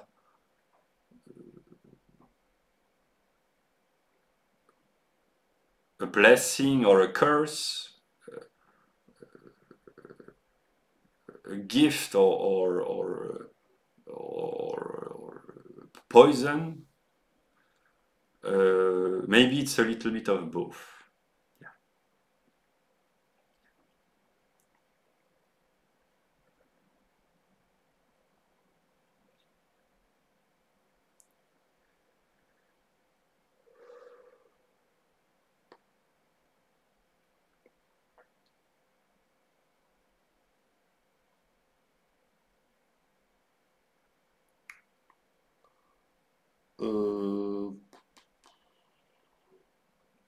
Then about uh, the view of the totality uh, in a different way. Here, that would be uh, not the totality or either the planet or the universe or the world, but to think with a, a total view in more narrow, uh, in a more narrow sense.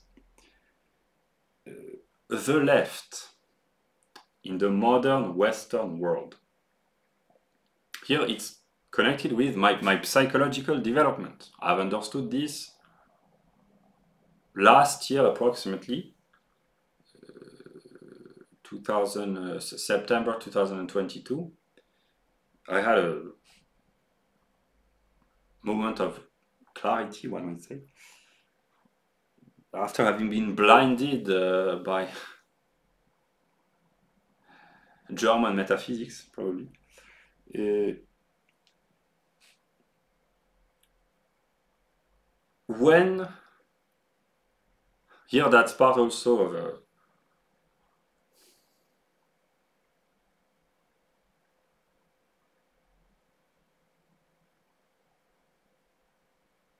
self-compassion i will say uh, yeah. when you judge something anything.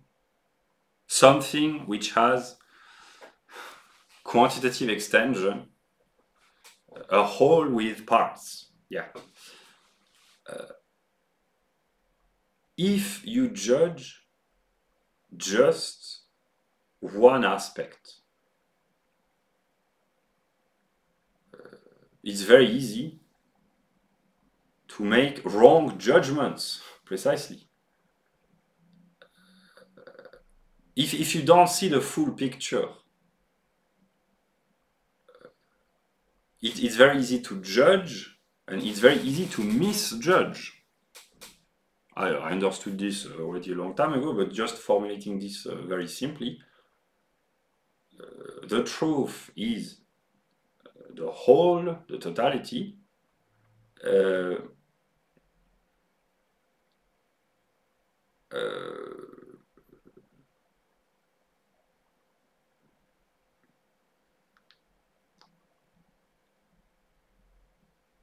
Here it's really a cheap uh, trick that the left uses very often. But uh, when judging uh, anything, when I say, if you just emphasize uh, the the worst uh, aspects, really the, the well the bad moments, one might say, you, you, you, you put an overemphasis on what goes wrong in whatever you judge, and you completely neglect all the things which go right. If this is the methodology, it's very easy to, to manipulate and, and to misjudge. Yeah.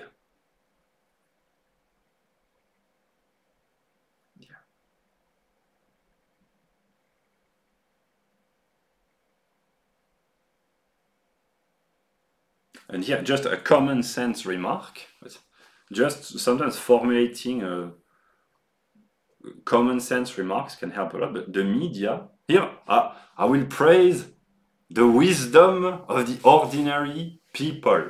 The people, I'm, I'm not very often uh, in a populist mood, but here I will praise the wisdom of the people. It's, it's genuine, it's genuine the people, here in the sociological sense, ordinary people, they have a tendency to be aware that basically the media, they only uh, narrate or report or put an emphasis or, or talk about negative events overwhelmingly. So that's why it, it, it, it causes a lot of anxiety when you follow the media because overwhelmingly negative news appear and from all over the world.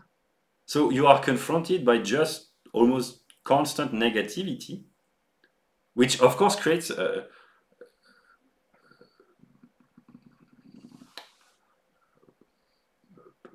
tendency towards uh, uh,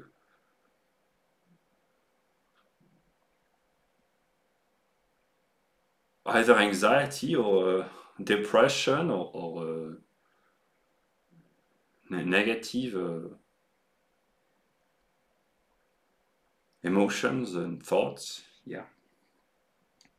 But if, and yeah, eh, the, the negative aspects, of course, they exist, and it's part of a honest journalism to report negative events which occur, of course. But if you just imagine, make a thought experiment. Let us imagine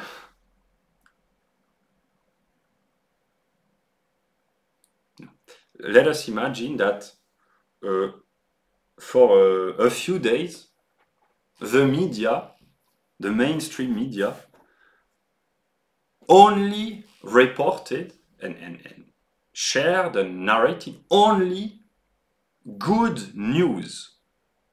What most people consider to be good news marriages,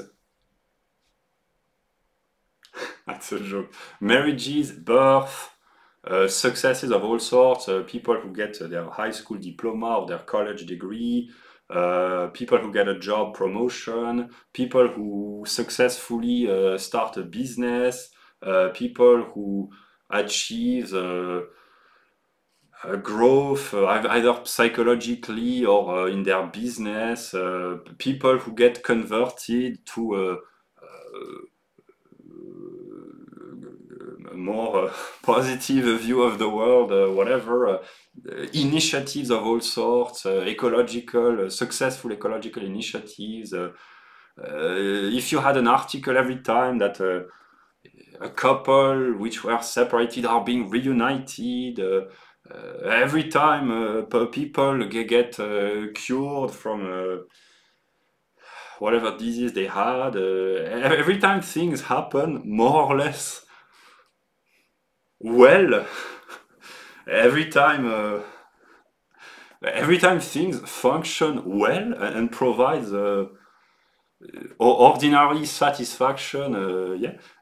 Imagine uh, the, the power that, that it would have. Yeah I, I, will make a joke it's not to be taken seriously but people if they re read the news just for a few days if there were only good news they would say, but whoa, this wonder, this is wonderful. We live in a world where uh, people are. I will, I will make a joke. I will make a joke. they would say, what? So, so many, uh, so many births, but people they, they have sex most of the time. Do they? Do they? Do something other than having sex constantly? Uh, these humans. That's a joke. That's a joke. It's not to be taken serious. No, ser seriously. if if it happened, imagine newspapers where there are only good news, even the ordinary news. Uh, this morning, the sun uh, rose.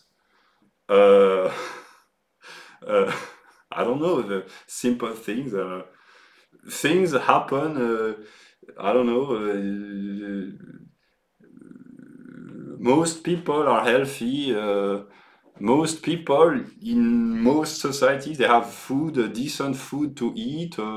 there are functioning services. things are functioning more or less. If it was presented in in a with all the power of persuasion, uh, look uh, how many successful people there are. The youth is brilliant. Their results in school are uh, exceptional. let, let, us let us say. Oh, great news! Look how many people uh, successfully proceed in, in, in successful and, and prospering uh, business transaction every day. Look how many uh, the businesses grow and thrive, how many problems are solved every day, uh, how many uh, love letters are written every day, uh, etc. If the power of persuasion of the media, the, the mass impact of mass communication has, if ordinary, yeah, it's kind of a cheap way of having a positive onlook, onlook on the world, but it's to try to compensate the, the really negative views of, of the media uh, if people found wonder in just looking at all the things which work instead of listing all the problems constantly and yeah i'm well aware that there are many problems and yeah but if just just this change of perspective it's in, if instead of listing constantly all the negative things just the negative things if people could look at the more positive sides in life, uh, not to, to be dumbed down and, and blinded and become a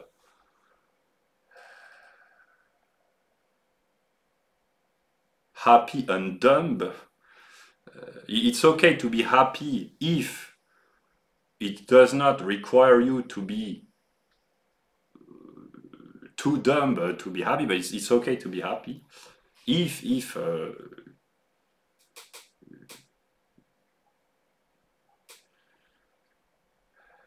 if it's okay, I might say. Um, yeah. Uh, but here I, I just take a, an example which just in the realm of economics.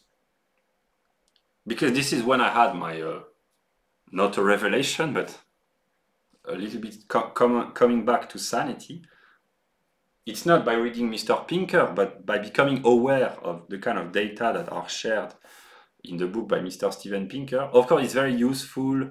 People who write books to say that things are not all that bad. Not always, not everywhere. There are good things in the world. Well, it can help too. Yeah. Um,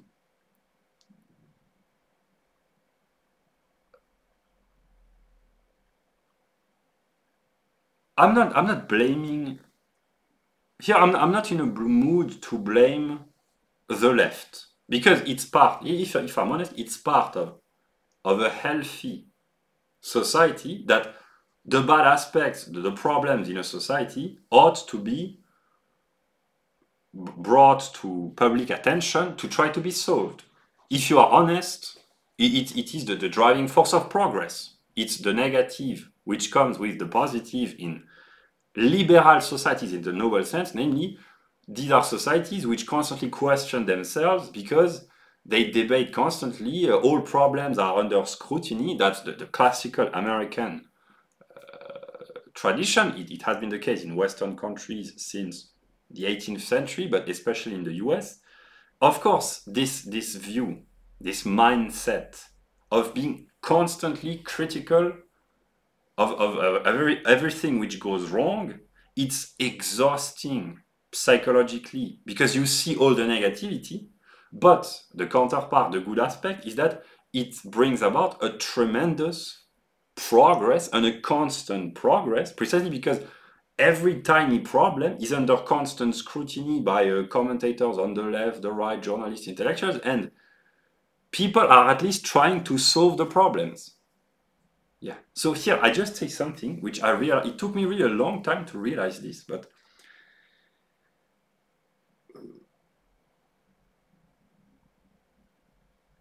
liberal societies in the noble sense. Here, let us say Western in the classical sense of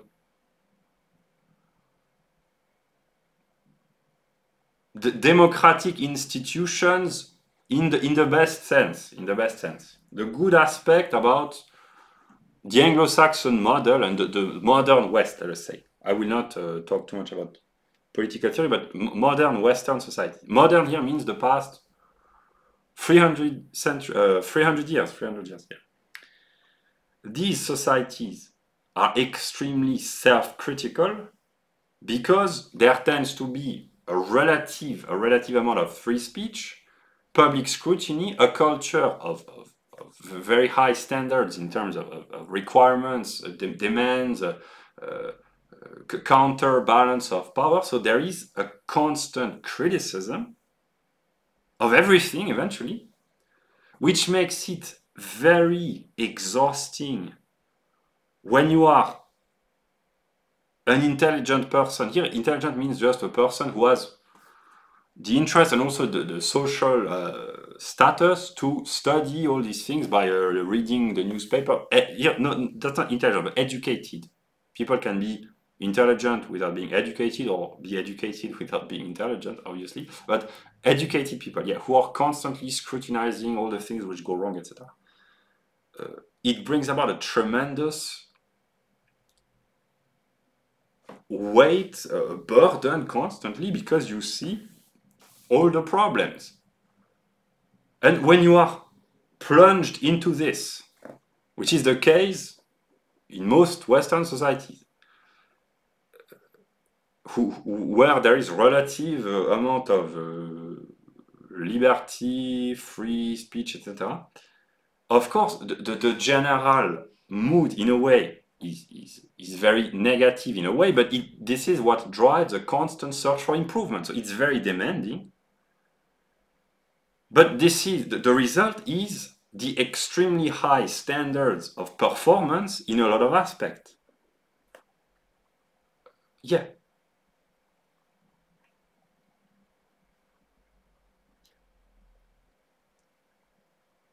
because here I just formulate a, a, view which it really has taken me a very, very long time to realize. But the, I will formulate this in a, not poetic, but uh, uh, the reason why Western societies are so criticized, mostly by Westerners themselves, but is often, very often, because they are uh, critical. They are criticized because they are critical. Self criticism uh, being being self-critical brings about self-criticism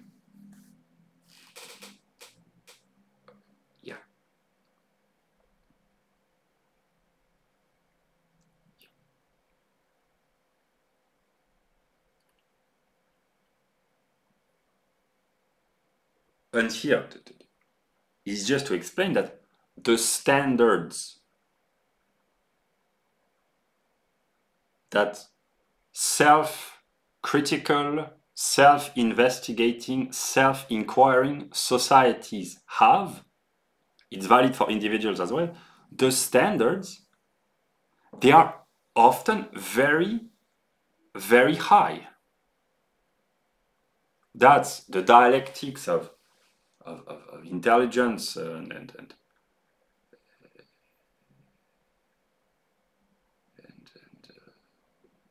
lucidity in a way, the more clear-minded you, you are, the more critical you are, because you see all the problems.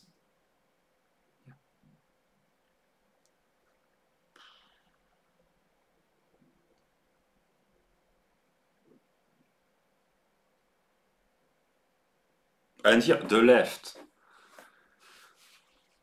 Psychological growth requires that it, it's not good to be resentful. Uh, I understand why it happened, but it's, it's not good. It means if you are resentful, you have still to improve or at least work to improve. But to be resentful against the left in the Western societies, it, it might seem uh, tempting, Sometimes it is because sometimes it's difficult. no, but in a way, yeah, I say wise things. It's easier to say wise things than to actually be wise, but let, us begin by saying wise things. yeah. In a way, here I will say I will say intelligent things. It's more difficult to uh, to apply, but at least uh, tr trying to know the good. That that's the first uh, the first step in the right direction. That's why. That's one way of interpreting the teaching of Jesus, of course. Uh, when you say, uh, when it's when when Jesus says, uh, you have to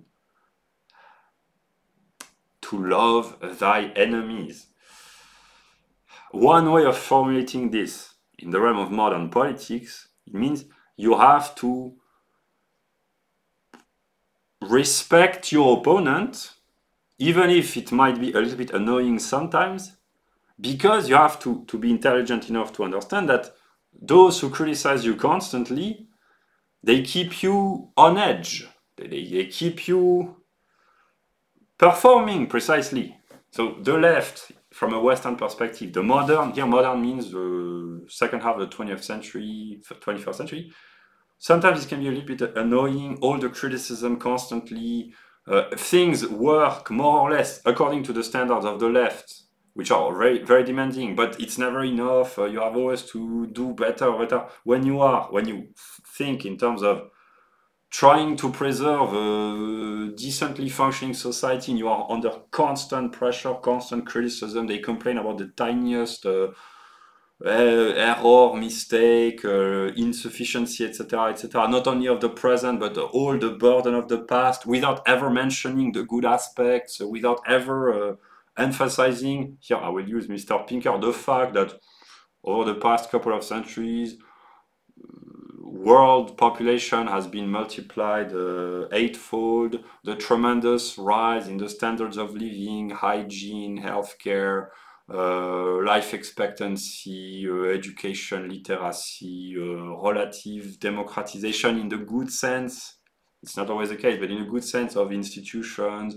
The results, objectively, they are absolutely stunning.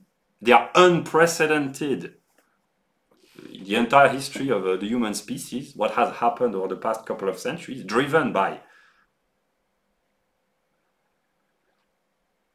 capitalism, not only, but uh, predominantly individualism, proper, property right, uh, the free market, uh, separation and balance of power, the free institution, the uh, public scrutiny, constant uh, debates, free speech, etc., etc. This is the driving force which has brought about stunning results. There have been, of course, if you, of course, I understand, but if you just point the negative things without mentioning the mind-blowingly obvious exceptional achievements which have been performed, of course, it's very easy to paint in, in a negative light, one might say. Yeah.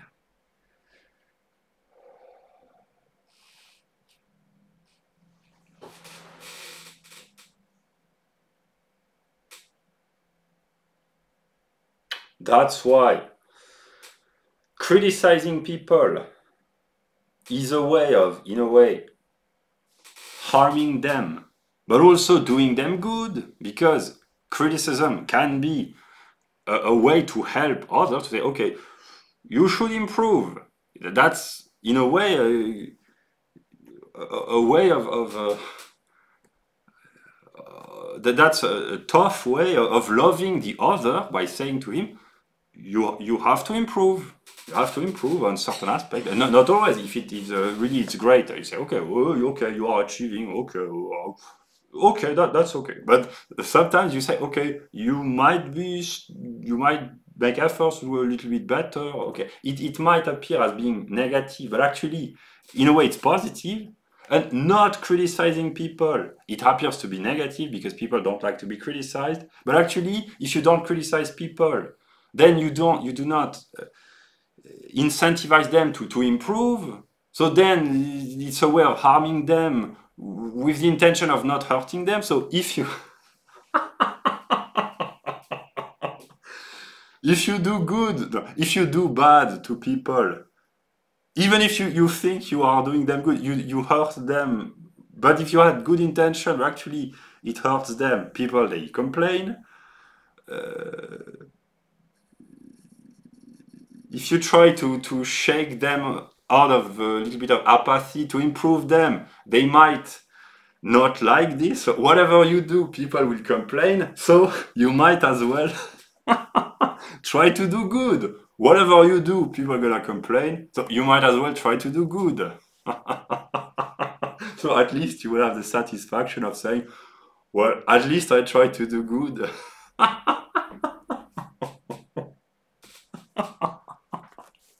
I suspect, I suspect that whoever designed human beings with all their complexities, probably he was a masochist. Maybe.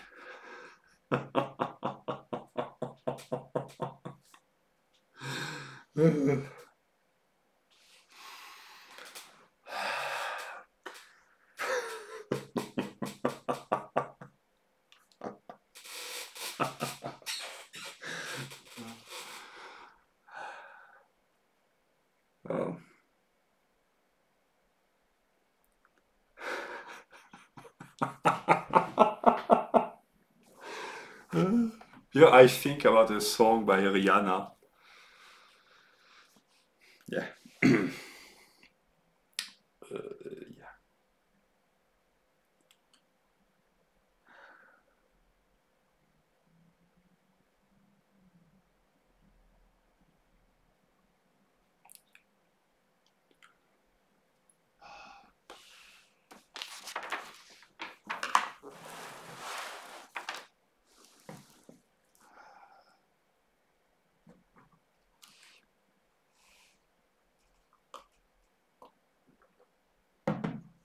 Made a remark. I wrote, uh, trying to say intelligent things is part of my work. Uh, here it's just a, a remark which is kind of a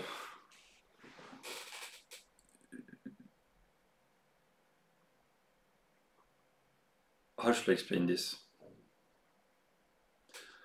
To say intelligent things. For most people who, who do say intelligent things, for most of them, is the result of work and and uh, and study and uh, an effort. There are people who spontaneously say intelligent things that that's great for them and for others but uh, here just for, to illustrate when i make these kind of videos which are not very structured etc it might seem that i'm not working because i'm just uh, rambling in front of my uh, webcam but actually uh, the things that i say which are intelligent or insightful uh, they did not uh, spring forth out of i don't know a mysterious source of inspiration and wisdom and, and brilliance. No, uh, they are the result of, here we're in the year 2023, of 10 years of, I will not, I will not play the card, uh, I succeed. If I do, I succeed because I've worked very hard. Because most of the time, no, not most, but a lot of time, people who work hard, they do not necessarily succeed as it's a success. It's a, it's a reward in itself, but they do not they do not necessarily succeed socioeconomically as much as they might expect to. Or yeah, and those who succeed a lot uh, in uh, entertainment or uh, culture or acting or sports or whatever they might be very successful and claim that they have worked very hard. And it's true that, seriously, read the, the great achievers uh, who, who are, uh, here I'm not talking about the, the, the entrepreneurs, uh, here, for them, the overall majority, they really have to work really hard to succeed. But people in entertainment, in a broader sense, who are successful because they have a talent, a lot of time it really requires a lot of work. It really does. But what I do uh, when I when I speak like this here, I have not worked thoroughly to prepare this video that I have been recording for you know, more than two hours. I have spent, uh, I don't know, maybe uh, a, couple of hours if we include thinking about what I intended to talk about plus writing a few notes out. But so it's not really a lot of work. But when I say intelligent things, it's the result of, of 10 years of intense studying. Yeah. Yeah.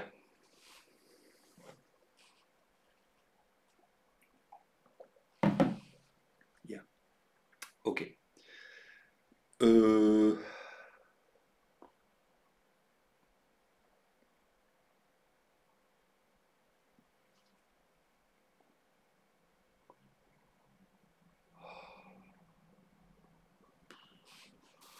here I had listed uh, all the things that I have consistently and constantly performed uh, in, the, in the realm of uh, ethical pieces of advice, the stuff that I've listed on the documents, uh, make household management great again, make puritanism great again, make civic virtue great again, make your body great again, etc., etc. But it, here it's kind of an autistic uh, way, so I, I, will not read, but I could list, because I have, while preparing the video, all the things that I have done consistently for the past 10 to 18 months, very often, uh, I have been extremely consistent in what I believe is good. Most of the things that I've listed here, plus other stuff. Uh, so here it's connected with what I said at the beginning, the weight of words. I can say things mindlessly, I might say, or uh, without uh, things that I regret having said. Uh, okay, okay, but when I say things which are intelligent, uh, and, and I know they are intelligent and they are good in a way, with all the ambiguities of, uh, that I've listed, uh, that I've mentioned in this video about. Yeah.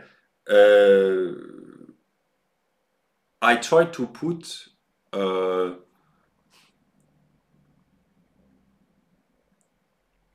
weight to to at least some of the words that I, that I speak because I back this up with with practice with constant daily practice. Yeah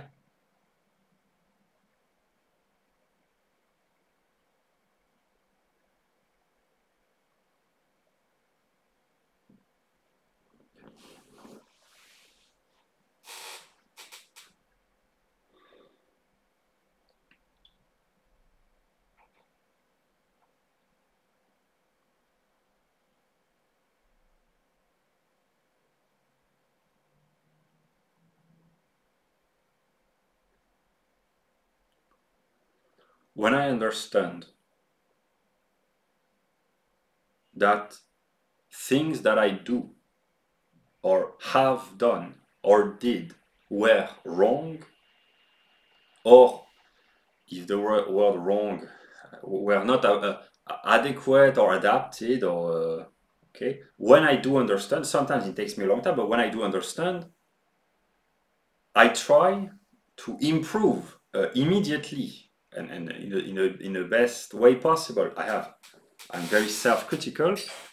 When I realize that, okay, I did, okay, wrong, bad idea, okay, wrong, mistake, error, wrong. I try to correct to, by improving and by changing as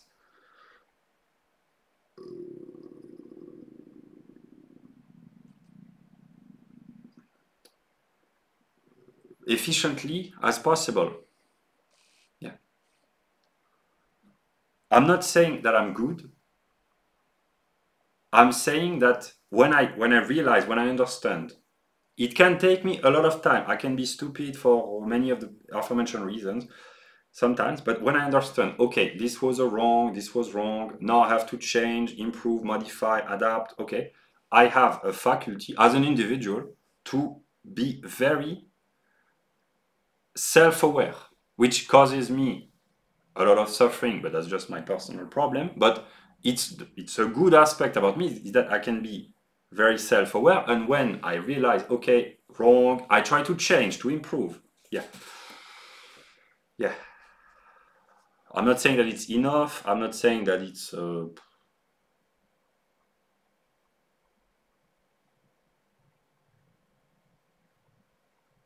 adequate. But if I had to show self-compassion, which is partly the purpose of this video, when I realize, okay, I've made a mistake, I've made a mistake, I try to improve, while here, virtue signaling, virtue signal, that's a joke, but uh,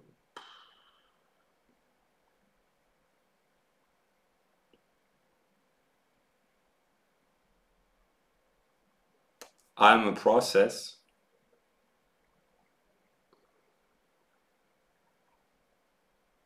There are uh, difficult moments in the process. And I have here, I, I, I've already mentioned this uh, maybe many times. And I, I genuinely ask myself this question. I genuinely do. I have a personal answer.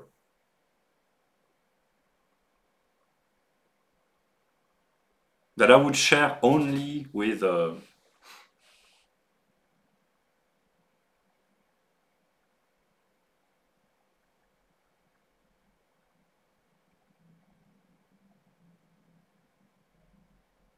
special person.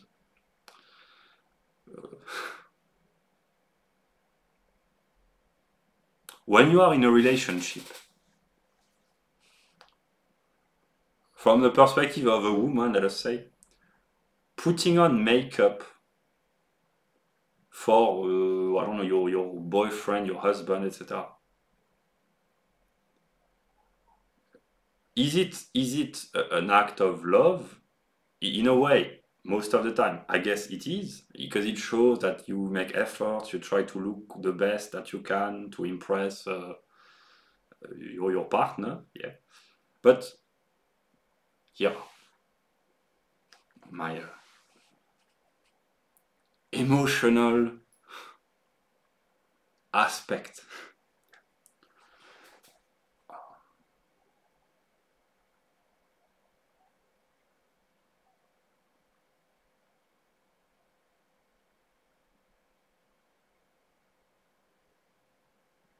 I'm well aware that not putting makeup and saying to uh, your partner, this is how I look without um,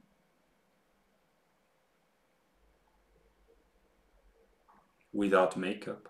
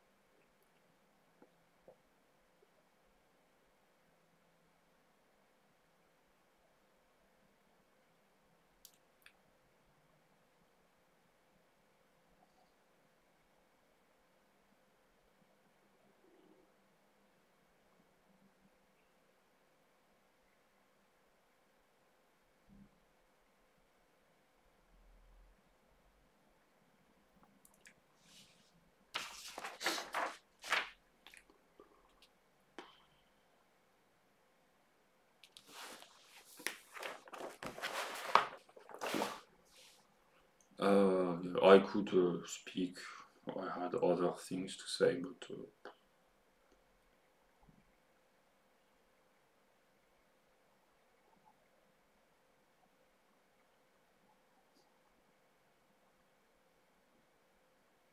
I know, I know that uh, some some humans they like uh,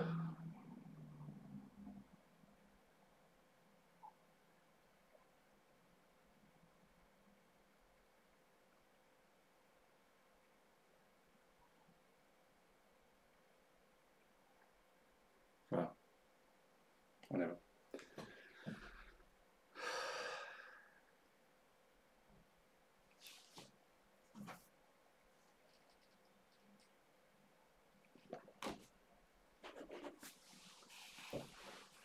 It's difficult.